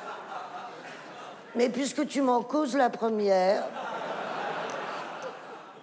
je te cacherai pas que depuis quelque temps, je me disais le papa de Ginette, le papa de Ginette. Ça va pas bien, hein? Ça va pas bien. Il va passer des examens, peut-être. Il les a peut-être déjà passés. Oh là là, laisse. Ginette, laisse, c'est pas la peine de m'en dire davantage. J'ai tout compris, là. Je voulais essayer de fermer les yeux pour surtout pas t'affoler, tu penses. Mais voilà, ça y est, alors ça y est, on y est, là. On, y est. C'est bien ce que je redoutais. Oui, t'as pas encore les résultats, mais enfin, bon... euh,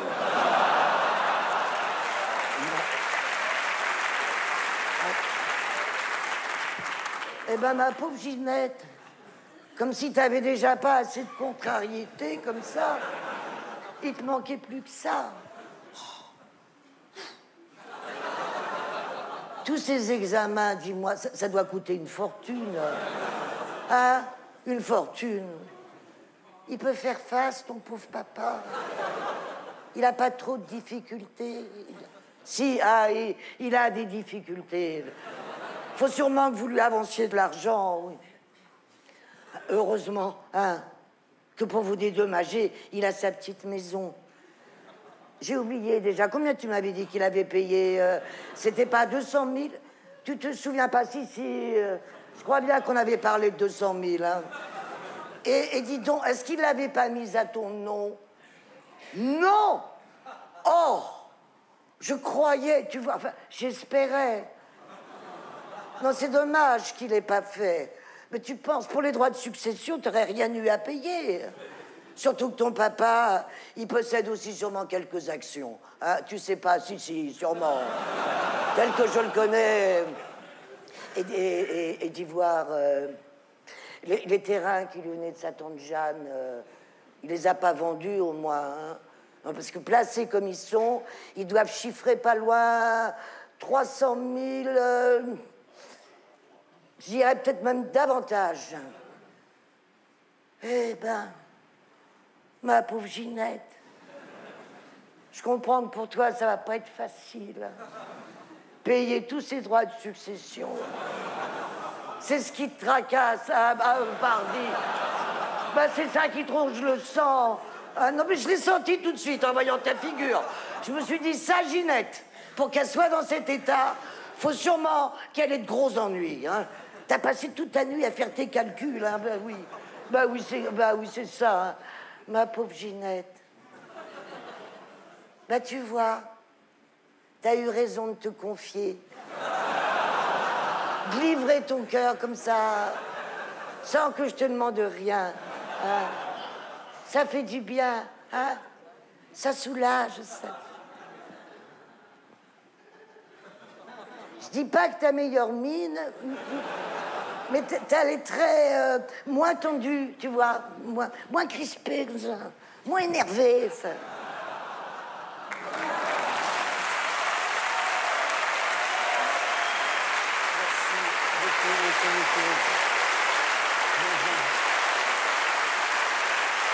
Catherine Nigel.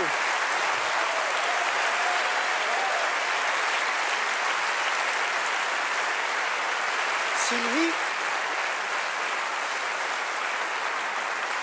Catherine Niegel est la seule euh, comédienne que je ne connaissais pas en vrai, que j'admirais de loin, mais je ne vous connaissais pas en vrai. C'est Alex Lutz qui a fait le lien, qui m'a dit, mais je te jure, appelle-la, elle est vachement sympa.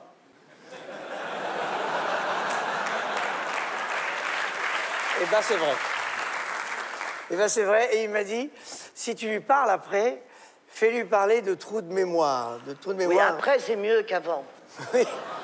Là, il n'y en a oui, pas eu, donc est-ce qu'il y a des souvenirs de trous de mémoire à la comédie française ou ailleurs mais je, je non, sais. mais euh, il y en a partout des, des gens qui ont des trous, hein, pas euh, spécifiquement. Mais je veux dire, euh, non, mais je parlais pas de vous. Je me serais pas permis. Non, mais je veux dire, euh, à à la comédie française, il y a eu longtemps un, un trou, un trou du souffleur. Je je l'ai connu même, enfin, je m'en suis pas servi, mais j'ai connu. Il y avait même une souffleuse, on m'a raconté, quand les acteurs se trompaient, elle faisait c'est pas ça.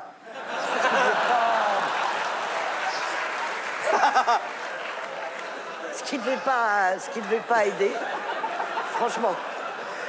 Et euh, donc plus tard, euh, on a supprimé le trou parce que c'était pas esthétique, quoi, ça coupait les jambes et tout ça.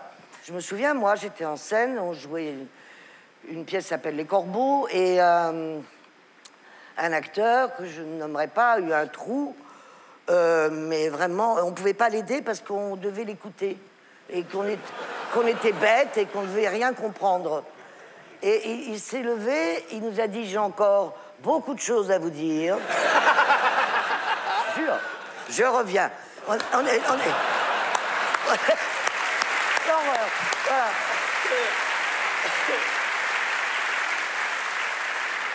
Catherine, euh, donc vous avez joué des grands textes et je voulais là vous demander, voilà, un grand texte.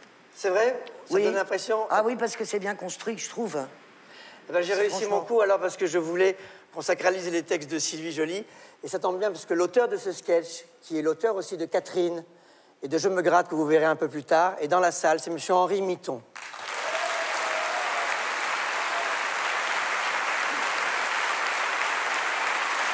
Bravo, monsieur. Bravo, monsieur Henri Mitton, parce que écrire un sketch drôle, déjà, c'est pas facile, mais écrire un sketch qui ne vieillit pas, chapeau bas. Chapeau bas. Alors, maintenant, je ne sais pas comment la présenter, tellement je suis excité euh, de la présenter. Je vous dis des titres de films. Si je vous dis Le Père Noël est une ordure, si je vous dis Le Grand Chemin, si je vous dis euh, Viens chez moi, j'habite chez une copine. Mesdames et messieurs, la rare, la très rare, la trop rare, anémone.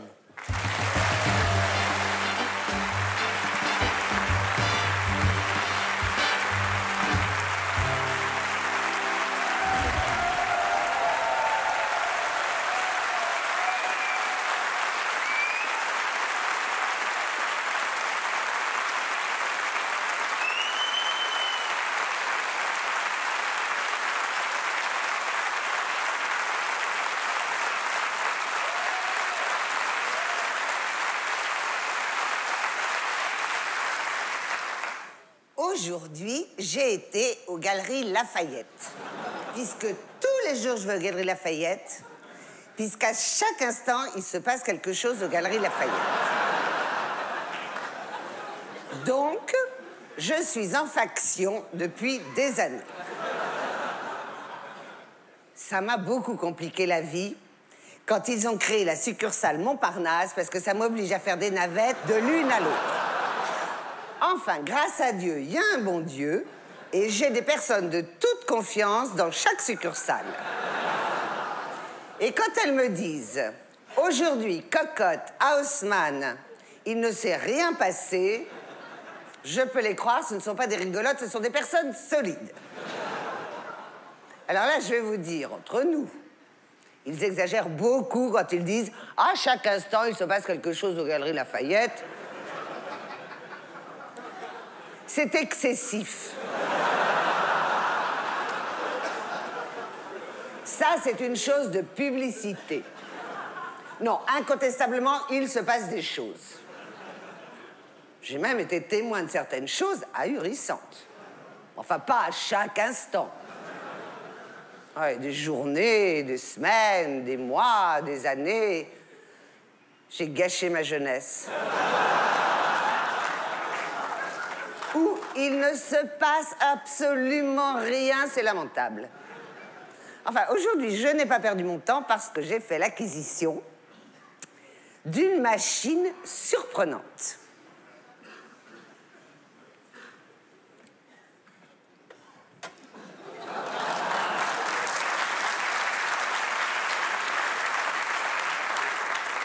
qui est le résultat des élucubrations de pas la moitié d'un con.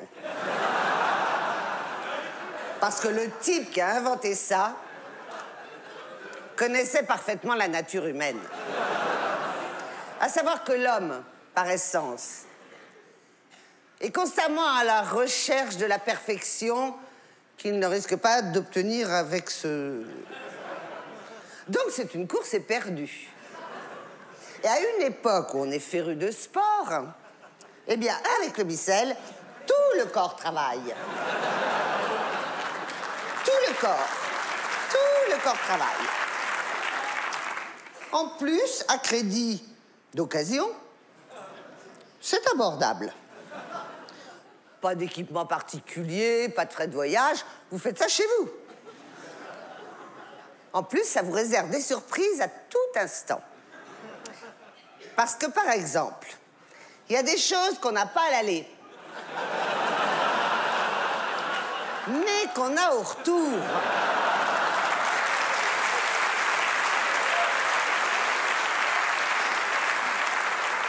Alors, où est-ce qu'il va chercher tout ça? Hein, c'est magique.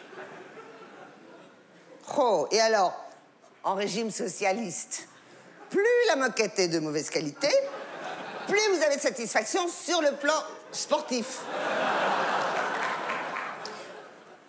Un enfant s'en lasserait peut-être, mais certainement pas une grande personne. Deux inconvénients. Comme tout ce qui est génial, c'est fragile. Là, vous voyez, là, j'ai appuyé. Et ben l'index, on le voit. Ah, on le voit. Et puis alors, on vous les pique. Moi, on m'en a piqué 23.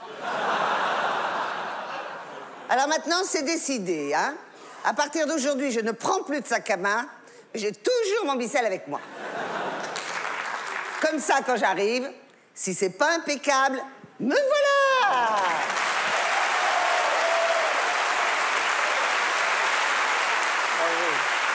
Merci.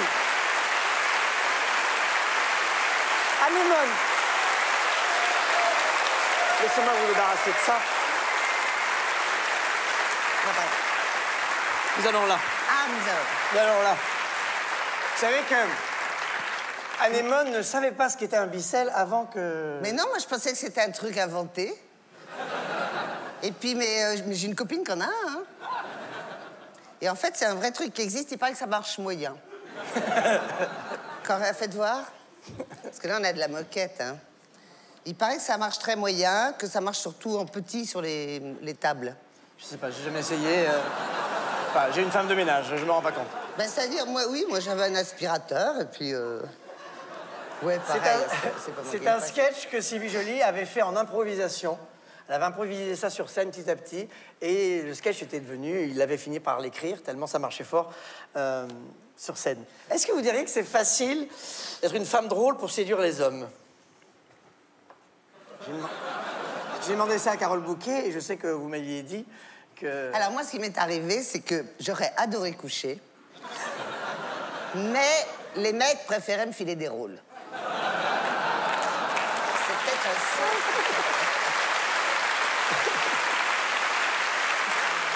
euh... ça, ça, peut être un signe. Alors maintenant, on va découvrir quelqu'un que j'ai découvert. Euh, enfin, on va pas la découvrir, vous allez la retrouver parce que vous la connaissez, car elle va. Non, non, arrêtez.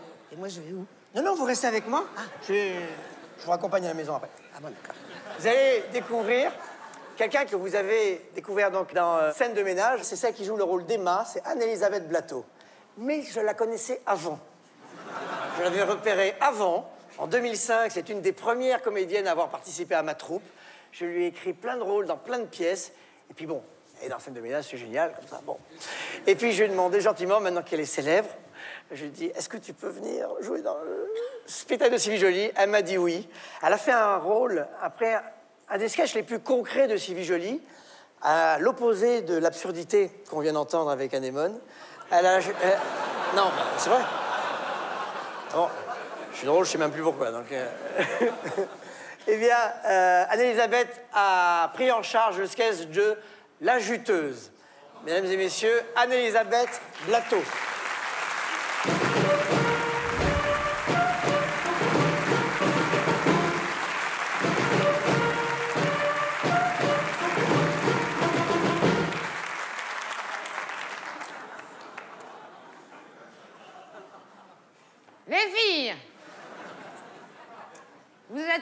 Promotion de 450 gonzesses bien plantées.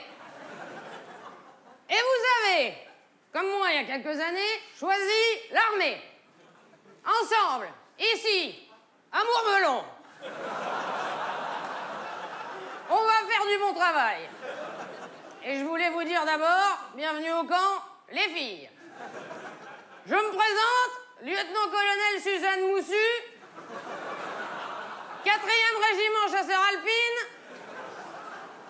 de cheval.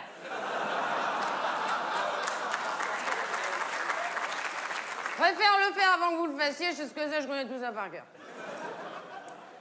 Aujourd'hui, à titre de prise de contact, trois points principaux dans mon exposé. Primo, tenue et équipement. Deuxio, les MI, les manœuvres internationales, avec tous les problèmes que ça pose. Tertio, la guerre proprement dite. Et pour finir, je conclurai par un petit mot gentil. Alors, primo, la tenue. Alors, on va vous remettre une tenue complète, appelée la tenue de camp. De quoi se compose la tenue de camp? Calot, calot bleuté, en drap molletonné, bordure avec jugulaire adaptable. À propos, les louloutes qui se trimballent avec les cheveux jusque-là vont être gentilles de passer chez les carisseurs. Il faudra pas chialer. La féminité, c'est pas une question de longueur de cheveux, vous me la ferez pas, celle-là. Croyez qu'on peut être super chouettos à moins de 2 cm.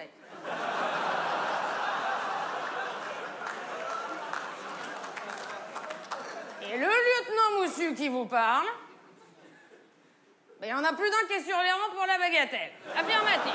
Oh, repos Fixe, repos Homme sur l'épaule, repos Bon.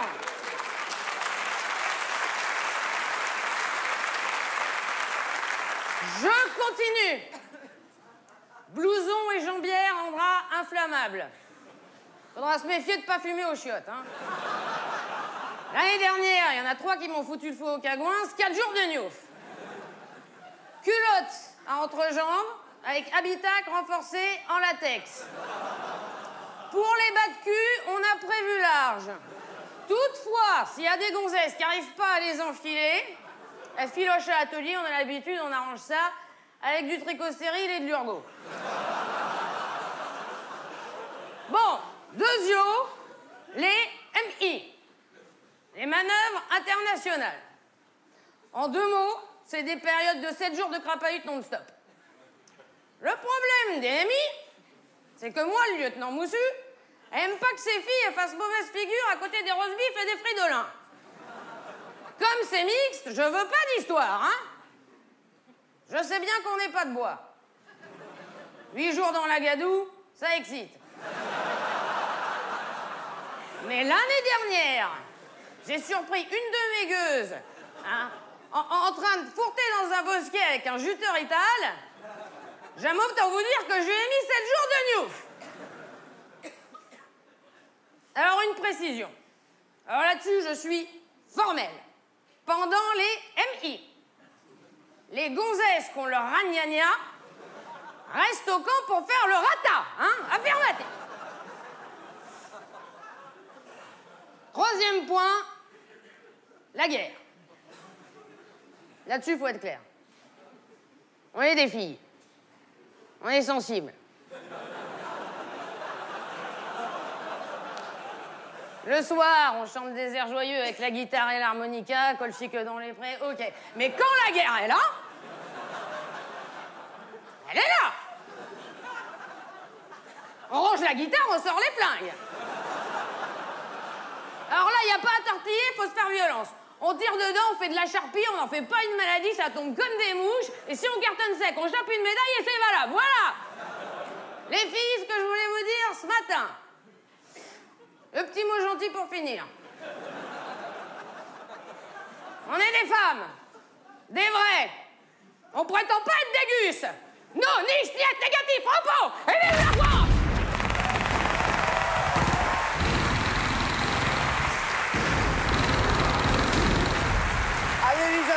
Tu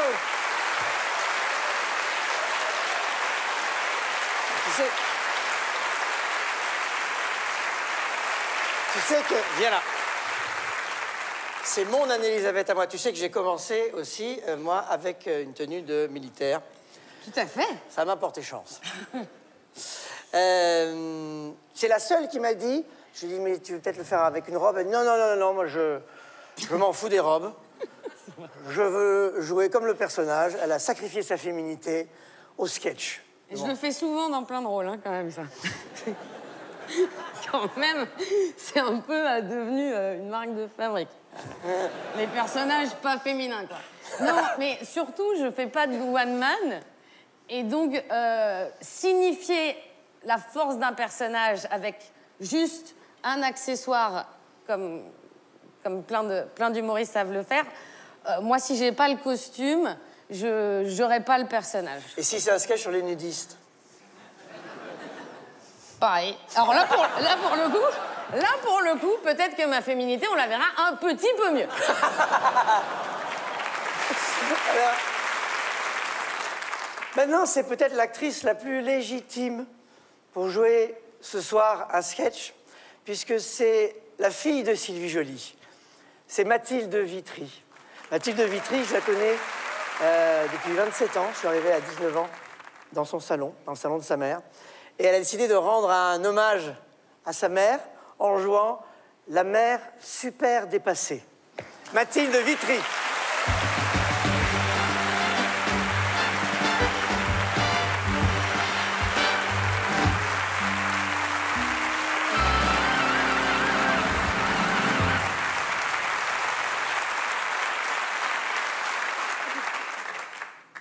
Tu rentreras pour dîner? Non? Peut-être pas? Hein? Peut-être pas? Oui, oui, bien sûr, tu verras. Peut-être même euh, que tu rentreras pas couché. Hein? C'est possible. Oui, oui, bien sûr, ma chérie. Tu sais pas encore, tu verras. Et tu sors avec Jean-Loup, sûrement? Ah non. Ah, excuse-moi. C'est Jonathan maintenant. Ah, ben, je savais pas, excuse-moi. Ah bon Les parents de Jonathan sont en voyage et ils lui laissent l'appartement entièrement libre. Formidable. Il organise une partie ce soir. Mais tu m'avais pas dit. C'est chouette, ça, dis-moi, ça va être vachement sympa. Non, tu sais pas encore. Eh ben oui, bien sûr, tu verras. Et vous serez nombreux, combien Une dizaine? Nathalie et Sylvie sont invités aussi, sûrement. Ah non Ah bon Tu seras la seule fille Mais c'est chouette, ça, dis-moi. C'est, drôlement flatteur pour toi. Une seule fille pour dix garçons. Nathalie et Sylvie doivent être drôlement jalouses. Ah non Il y a vraiment pas de quoi. Ah bon Ah bon Ben, moi, je disais ça comme ça, ma chérie, excuse-moi. Et hum, vous allez sûrement danser. Bah, euh, du jazz, du rock, de la techno. Ah non. Non, pas du tout. Bon. Mais les garçons, là, les copains de ton ami euh, Jonathan, tu. hum, Tu les connais un peu quand même Non? Ah non? Bien sûr que non. Ils reviennent de Katmandou. Oui, oui, bien sûr, je comprends. Oui, alors forcément, tu les connais pas, bien sûr. Tu vas faire leur connaissance euh, comme ça, décontractée. Non, ah non, tu n'es pas décontracté. Bon, bon. Et hum, tu penses que peut-être, pour te sentir vraiment tout à fait détendu, il faudrait peut-être euh, que tu fumes un peu? Peut-être un peu de marijuana. Non? Tu sais pas? Oui, oui, bien sûr, tu verras. Non, tu verras pas. Oh, mais excuse-moi, ma chérie, je, j'avais mal compris. Pourtant, je m'efforçais. Très bien. D'accord, d'accord. Je dis plus rien. Juste, juste un dernier mot. En copine, hein? En copine de copine à copine. Tu n'oublieras pas de prendre ta pilule. Si Ah si Ah bon? Ah non? Tu sais pas encore, tu verras Très bien. D'accord, d'accord. Tu verras, on verra, on verra ce qu'on verra. Voilà, c'est ça qu'elle a dit. Papa et moi, on verra ce qu'on verra.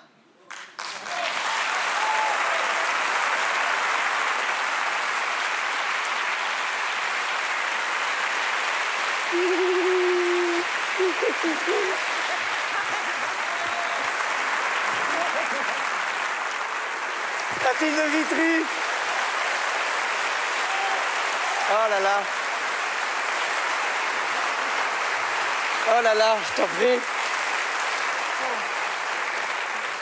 J'étais tout petit. Alors, alors qu'est-ce que ça fait de jouer au sketch? Bah. C'est-à-dire que je ne que je l'ai jamais fait de ma vie, que, que- et que là, euh, je suis entourée de bêtes de scène, de prodiges, qui quand même étaient sur le point de vomir avant.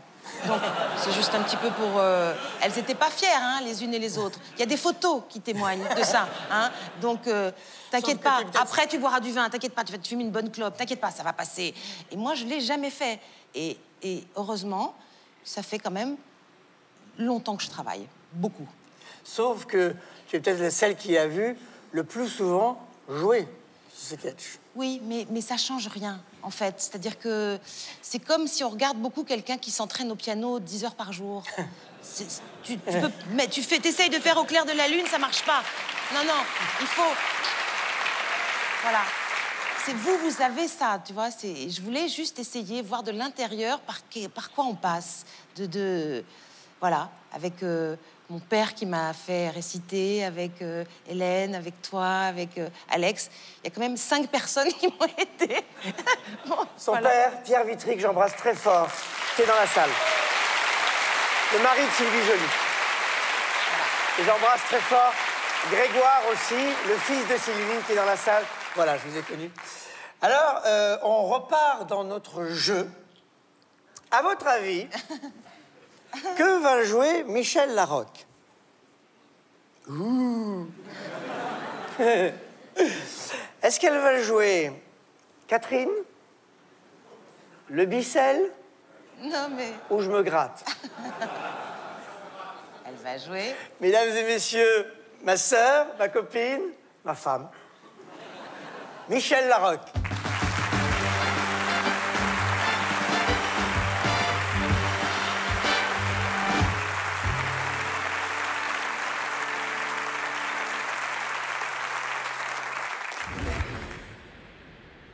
Oui, c'est ça. Pendant tout le spectacle, je me gratte. Je me gratte, c'est tout. Enfin, quand je dis c'est tout, c'est. C'est énorme, naturellement. C'est c'est fantastique. euh, Ça va très loin. Comme tout ce qu'écrit Chose. C'est très violent, très engagé. Pardon? Dans la pièce? Ah, je suis une bourgeoise, oui, oui, bien sûr. Une bourgeoise. Ça, c'est clairement exprimé par l'odeur des boules puantes qu'on lance dans la salle dès le début. Si, si, tous les soirs à mon entrée en scène. C'est une idée de truc, le metteur en espace, fantastique. Vous, vous saisissez l'équation, le, le raccourci? J'arrive, je pue. Donc je suis une bourgeoise.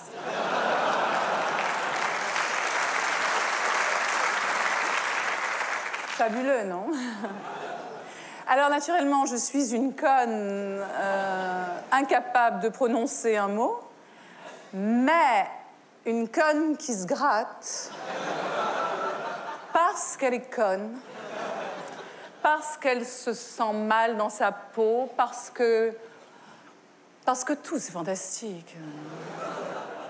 Pardon Oh, une heure et demie, deux heures, deux heures et demie, je sais pas moi, peu importe, ça va tellement plus loin.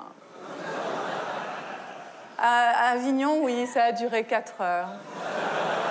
C'était fantastique. Ça aurait pu durer toute la nuit. Ça a peut-être duré toute la nuit, je sais pas, je sais plus. Entre le public et moi, un public très jeune, très chouette, il y avait une telle complicité, une telle connivence. C'était fantastique. Je me suis mêlée à eux, aux jeunes, tout simplement. J'ai eu envie tout d'un coup, ça me paraissait très chouette. Et vraiment, ça a été très, très chouette. J'étais, au milieu d'eux, il y avait une telle chaleur, un tel contact. À la fin, tout le monde se grattait. tout le monde grattait tout le monde. Même à un moment, je... Pardon. À la rentrée? Ah bien sûr, oui, je, crée la nouvelle pièce de choses, le dernier volet de sa trilogie. Alors là, je crois qu'il est difficile d'aller plus loin. Oui, non, mais je t'ai dit, euh, on, on se tutoie, je sais plus si on se tutoie. Euh, c'est euh, c'est le troisième volet de, sa trilogie, tu vois, c'est l'aboutissement. Euh, c'est assez terrifiant. Enfin oui, oui, si tu veux, je vais essayer de te dire, mais tu comprends, c'est... Alors, je suis la bourgeoise, bien sûr, mais... Mais arrivée au dernier stade, tu vois. À poil. Complètement à poil. Très belle, tu vois. Mais à l'intérieur, complètement pourrie. Alors elle est là, tu vois, à poil. Il y a un jeune qui passe, à poil, très chouette, très dur. Très dur, ça on s'en aperçoit tout de suite. Et, il me crache en plein dans la gueule.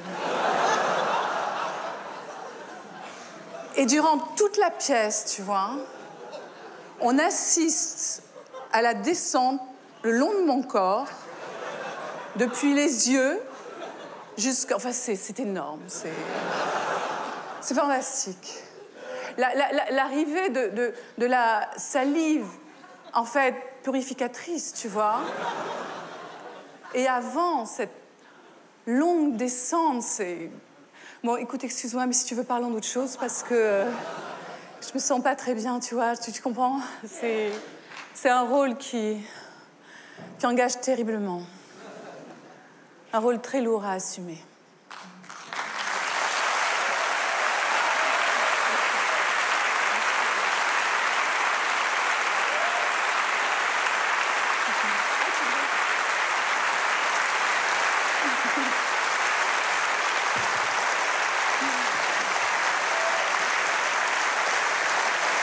Mon mari. Ta femme. La vérité. C'est content. Non, il m'engueule, alors j'ai toujours peur. Il m'a dit bravo. C'est bon. Il va comme ça. Mais, vous savez que c'est sur, ce- c'est sur ces deux fauteuils qu'on commence notre dernier spectacle. Voilà. Et comme on a un peu de temps. si Tu veux qu'on répète? Non, En tout cas, bravo. Merci. Tu n'as pas bafouillé une seule fois du sketch. Parce que. Attends, attends, attends, pourquoi tu dis ça? Non, mais pourquoi tu dis ça? Elle bafouille de temps en temps un petit peu, mais. Oh, mais, mais comme tout le monde. Non, c'est un peu plus toi, mais. Ça fait ton style. Mais pas du tout. Les gens disent elle est drôle, mais elle bafouille. Mais non, mais non, mais toi aussi. Tu, pourquoi tu dis ça? Une fois, attends, une fois, euh, c'était la première de Ils se sont aimés. Ah oui. Et elle doit dire, non, de Ils fois. s'aiment. Il sait, moi. Elle doit dire, mais c'est pas dans le four que je vais la mettre la pintade, c'est dans ta gueule. Bon. Et elle me dit, mais c'est pas dans le foutre que je vais la mettre la pintade. Et elle vrai. me regarde comme ça, et, et dans ses yeux, il y a marqué, est-ce que tu crois que les gens ont entendu? Et je fais, oui. Oui, mais je te fais remarquer que dans le sketch, tu sais, des parents avec l'aquarium derrière, tu, t'es- tu- tous les jours, pendant au moins 4-5 jours, t'as bafouillé au même endroit, à tel point que j'étais comme ça après quand tu disais la réplique. Cette bip, elle me. depuis cinq représentations, je n'arrive pas à dire un mot. À chaque fois, et ça ne vient pas. Et je lui dis ce soir, ah, ah, j'articule bien, je te promets, ce soir, au moment où je vais dire euh, la phrase, je vais, bien, je vais y aller doucement et je vais bien articuler. J'arrive à la phrase, je me prépare, et au moment où je vais dire le mot, elle me fait. Il a pas bafouillé parce qu'il a jamais pu dire la phrase tellement il riait.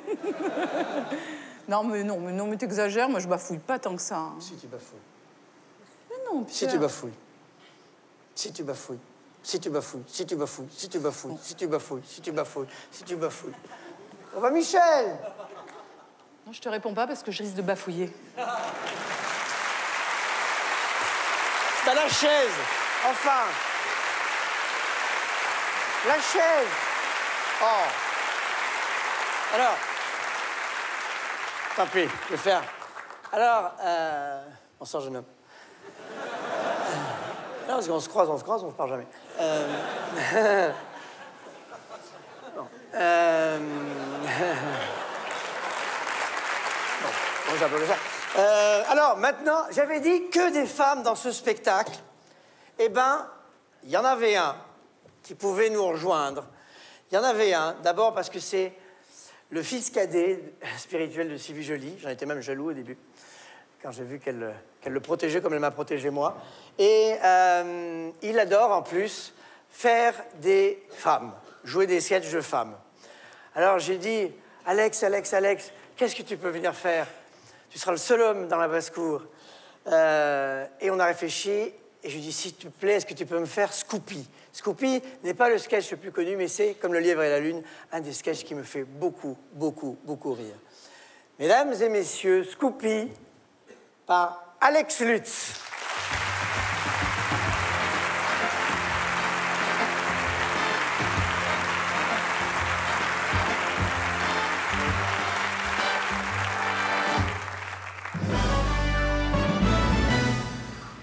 Madame, mademoiselle, messieurs, bonsoir. Eh bien, ce qui a dominé l'actualité de ce vendredi 24 décembre, c'est bien sûr, vous vous en doutez, la préparation de Noël. Noël, cette année, était donc au rendez-vous de Noël. La neige, excusez-moi, la neige, cette année, était donc au rendez-vous de Noël, comme vont vous le montrer ces images, qui sont signées de d'Édouard Gaufre. En ce soir de Noël où chacun porte en son cœur un peu de la joie de Noël et tous ceux qui sont seuls face à leurs petits écrans, eh bien, nous leur souhaitons eh bien, beaucoup de bonheur. Le bonheur, ce bonheur après lequel nous courons tous et qui n'est pas facile à attraper, oh que non. Ah, je crois que nous allons avoir d'une minute à l'autre des nouvelles d'Édouard Gaufre, je vous prie de m'excuser. Oui Oh là là. Bien. Oui, bien. Je m'interromps, car la nouvelle qui tombe à l'instant sur nos téléscripteurs bouleverse cette trop paisible veillée de Noël. Nous sommes certainement les premiers à vous l'annoncer ici sur Antenne 1. Le président togolais Firitou Matoke vient d'être renversé par un coup d'État militaire. Mais l'on me fait signe en régie, excusez-moi. Non, non, n'envoyez pas le reportage Noël. L'affaire Togo est suffisamment grave pour que nous renoncions à diffuser ces images de Noël, puisque je le rappelle à ceux qui prendraient ce journal en cours de route, le président togolais Firitou Matoke vient d'être renversé par un coup d'État militaire. Y a-t-il eu de la violence? Sans doute.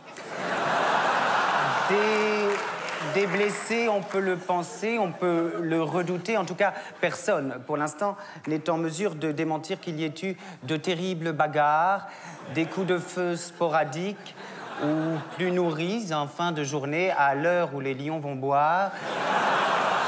Des blessés, bien sûr, mais peut-être même des morts.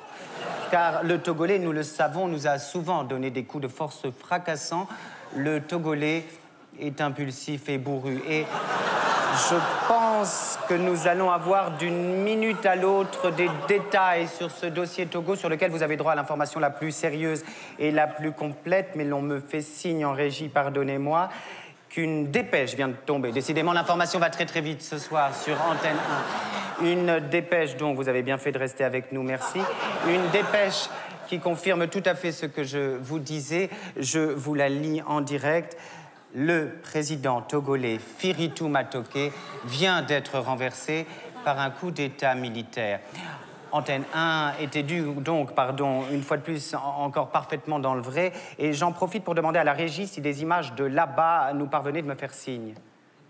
Non, ce sont des images de là-bas que les téléspectateurs veulent voir. Et pas du tout des images de Noël. Plus d'images de Noël, pas d'images de Noël. Euh, Bien sûr, nous aurions tous préféré parler gaiement de Noël, de, la féerie de Noël, mais l'actualité, c'est l'actualité, et je pense que oui.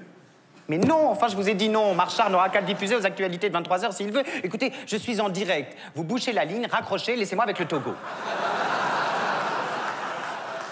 Bien, nous attendons toujours ces images, toujours extrêmement euh, difficile euh, d'obtenir euh, des images d'un coup d'État, genre d'événements imprévisibles. Mais je crois que ça y est, vous avez bien fait de rester avec nous, car, comme je vous le disais, ce ne sont pas des images, c'est une liaison. Eh bien, une liaison avec notre correspondant au Togo, c'est déjà pas si mal. Un instant. Allô? Allô, allô, le Togo?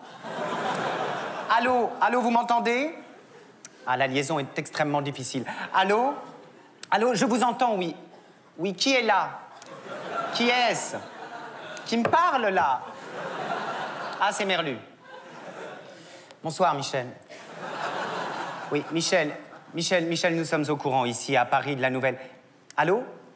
Oui, non, Mi- Michel, Michel, je vous en prie, la liaison est extrêmement difficile, alors laissez-moi parler. Comment, cela, s'est-il passé exactement? Mhm. Ah. Ah, donc le président déjeunait dans la salle à manger du palais avec sa femme et sa fille. Quel âge a-t-elle, la petite?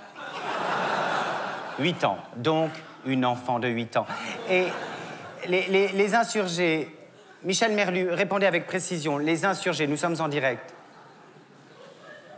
Un petit nombre Pas très armé tout de même, armé, armé jusqu'aux dents. Oui, mais est-ce qu'on les sentait, comment dirais-je, résolus, euh, déterminés au pire? C'est peut-être le plus important. Ah, j'entends extrêmement mal. Allô, Michel Merlu? Aucun blessé? Aucun coup de feu? Enfin, vous, êtes. Qu'est-ce que c'est que cette histoire? Vous êtes certain de cela, Michel? Vous êtes sûr d'être au courant? Michel Merlu au Togo? Enfin, vous êtes certain de cela? Ça serait quand même grave, Michel, de donner une fausse joie aux téléspectateurs en cette nuit de Noël. Eh bien, c'est une joie, comment dirais-je, profonde, extrêmement émouvante. Ah, vous avez vu sortir le président. Ah, ça, c'est très intéressant, par contre. Et comment était-il? Mal, j'imagine.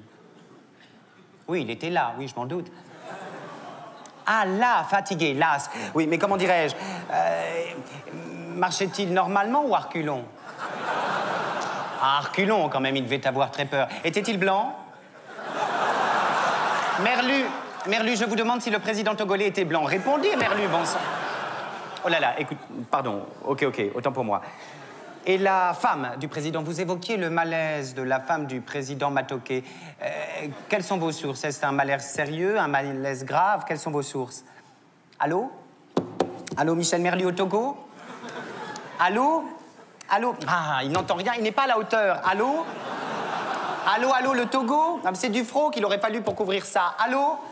Allô, allô, Michel Merlu au Togo? Non, Merlu n'a pas l'étoffe. Allô? Allô? Oh, Écoutez, je vais raccrocher, je crois que ça m'agresse trop. Je- moi, je vais vous en donner de l'information, de l'information bouillonnante. Restez avec moi. Je vais- Mais n'envoyez pas le reportage Togo, le Noël, pardon. Le président Firitou Matoké manteau vient d'être... N'envoyez pas ce foutu reportage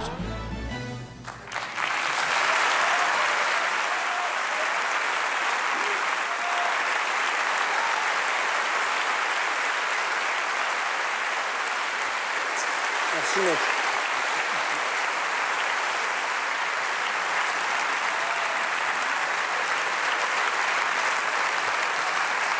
Très bien.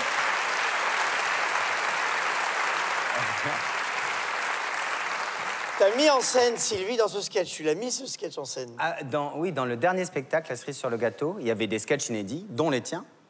Et il y avait euh, et, et il y avait certains sketchs anciens que- qu'elle adorait et qu'on a rajoutés. On avait mis celui-là aussi.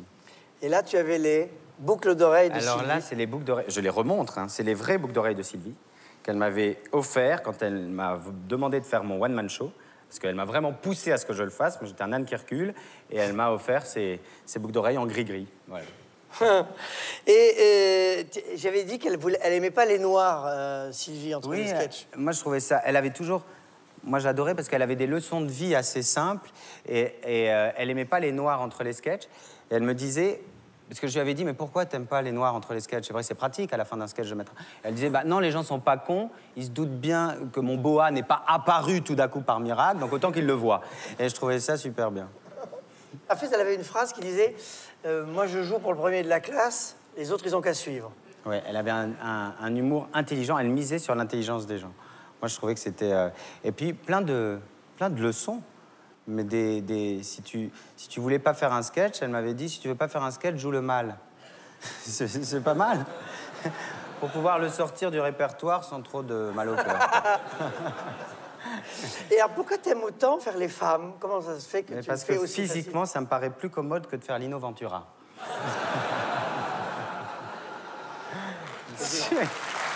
Une réponse comme une autre. Non, non, j'a- j'a- j'adore ça. J'ai jamais ressenti une espèce d'étrangeté où on se dit ah les bonnes femmes, j'y comprends rien.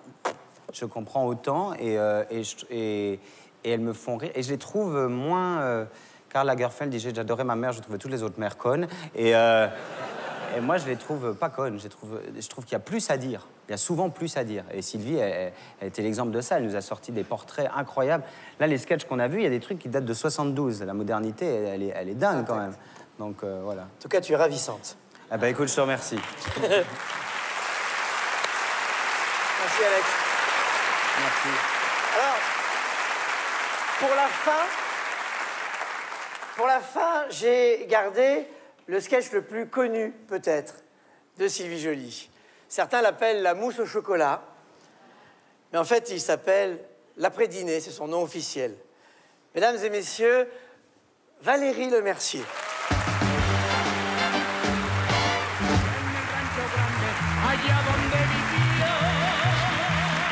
Jean-Jacques Je crois qu'on va y aller, hein T'as une réunion demain, hein? Oui, on va y aller, Jean-Jacques, hein T'as les clés de la camionnette, chérie? Je les ai pas, moi, hein, j'ai les clés de la cave. Bon, alors, on y va. Sophie, c'était vraiment sympa. On a passé une soirée, mais extra. En tout cas, bravo pour votre maison, hein. Vous en avez tiré un parti formidable. Ça s'appelle les spots, là, les trucs que vous avez mis au plafond. Oui, c'est ça, c'est les spots. Non, non, parce que la dernière fois qu'on est venu, il n'y avait qu'une ampoule, là, ça change complètement l'ambiance. Et puis alors, vraiment, Sophie, tu penseras à me donner la recette de ta mousse au chocolat, hein, sans blague, hein.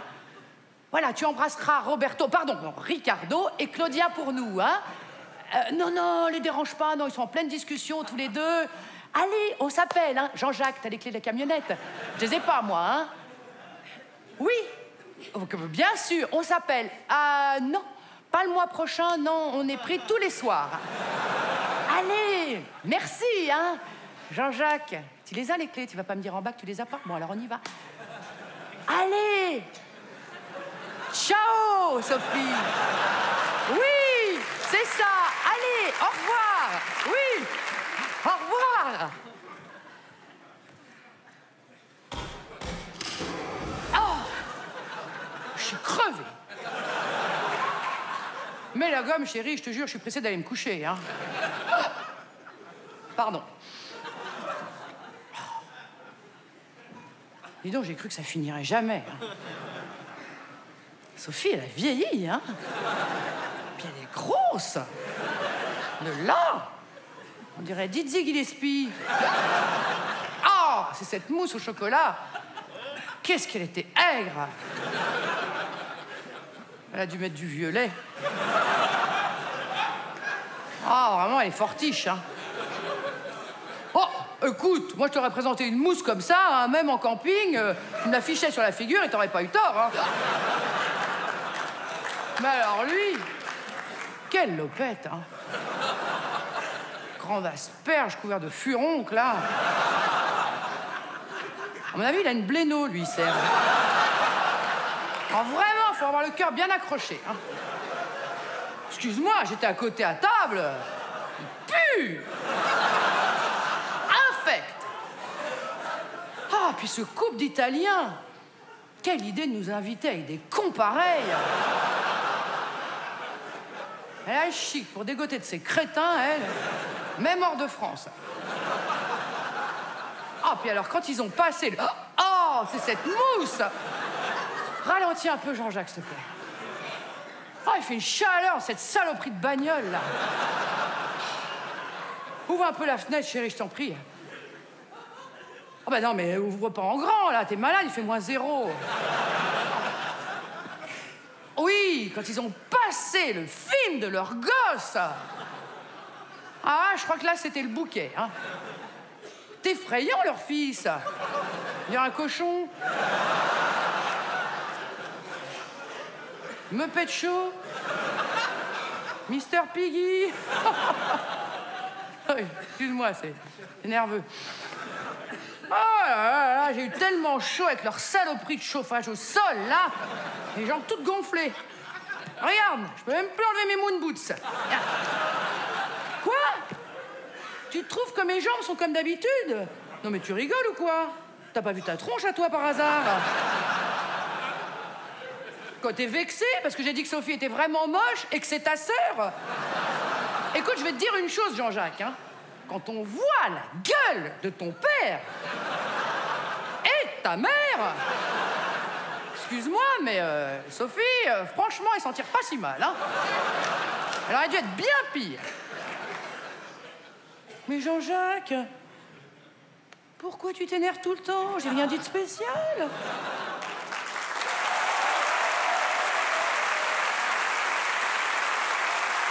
Hé, hé, hé.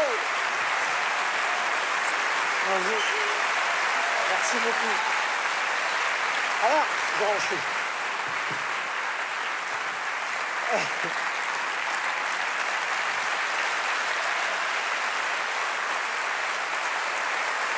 Est-ce que. Je t'avais demandé euh, que je te demanderais si tu avais des souvenirs de, de dîner et d'après-dîner. Eh bien, c'est-à-dire que, d'abord, j'aime beaucoup jouer au théâtre parce que je ne suis plus invitée à dîner. non, mais c'est pratique, on n'est plus invité parce que, en fait, on s'aperçoit qu'on fait tous des après-dîners de Sylvie Joly sans le vouloir. Moi, ça m'arrive, je dis, franchement, on a dîné chez des amis il n'y a pas très longtemps, je lui dis, des, des, des concombres dans du yaourt, on n'a plus 18 ans. Non, mais c'est vrai. Ou alors, des fois, il y a des sangrias servis dans des seaux, des seaux pour nettoyer un peu la salle de bain. Enfin, je sais pas. Donc, enfin bref, moi, je suis, je suis, je trouve l'intérêt du théâtre, c'est de ne pas être invité à dîner. Et par contre, on- quand on est invité à dîner, on, pense à Sylvie parce que parce qu'on a tous eu envie, et je pense qu'on le fait tous quand on rentre de dîner. Voilà, on pense à elle et, c'est bien. Voilà. Et c'est le premier sketch que j'avais entendu et je me souvenais, j'avais tronqué le texte. Je me souvenais de la gueule du gosse, alors que elle a jamais dit la gueule du gosse, donc je l'ai pas dit. Il Mais est effrayant, leur fils. Ouais, il est effrayant, mais je me souvenais de la gueule du gosse. C'est vrai que parfois les enfants aussi sont pas toujours très beaux. Non, mais-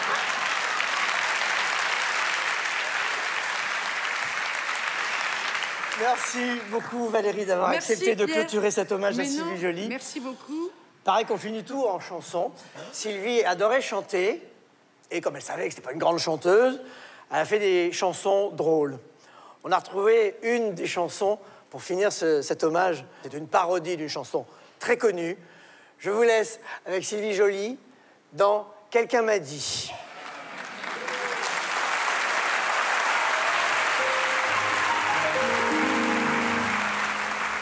On me dit qu'être belle, c'est être carencée.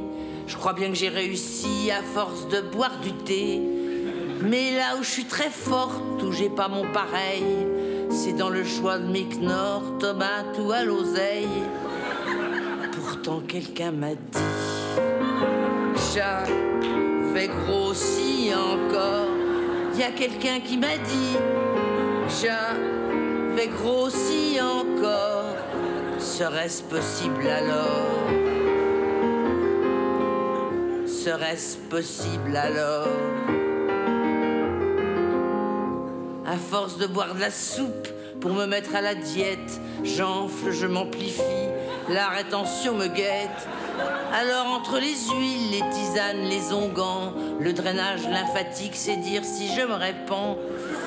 Pourtant quelqu'un m'a dit, j'avais grossi encore. Y a quelqu'un qui m'a dit, j'avais grossi encore. Je lui en veux à mort. Je lui en veux à mort. N'empêche que moi j'ai faim depuis au moins 15 ans. Perspective de l'été, morale 0%. Une statue en sachet, je veux bien lui créer. À celui qui un jour saura imaginer des soupes super magiques. Au goût de Nutella, saucisson poulet frites, pâte à la carbonara, des knorrs et des magies. Au goût patate rôtie. Tu te rends pas compte, Charlotte? Moi, j'ai piscine jeudi.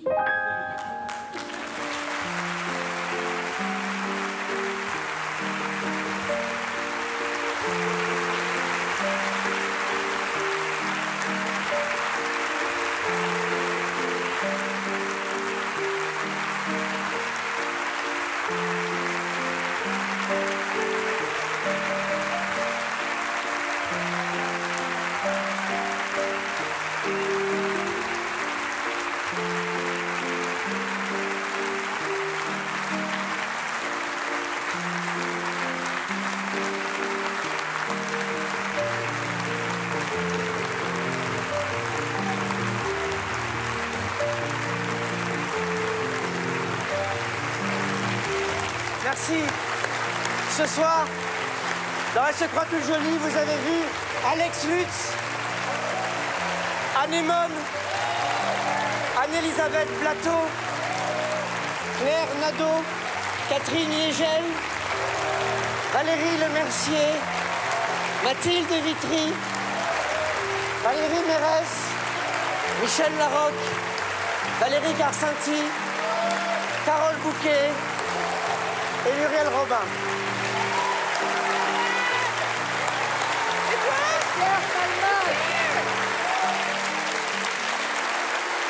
Merci beaucoup. Bonsoir Sylvie.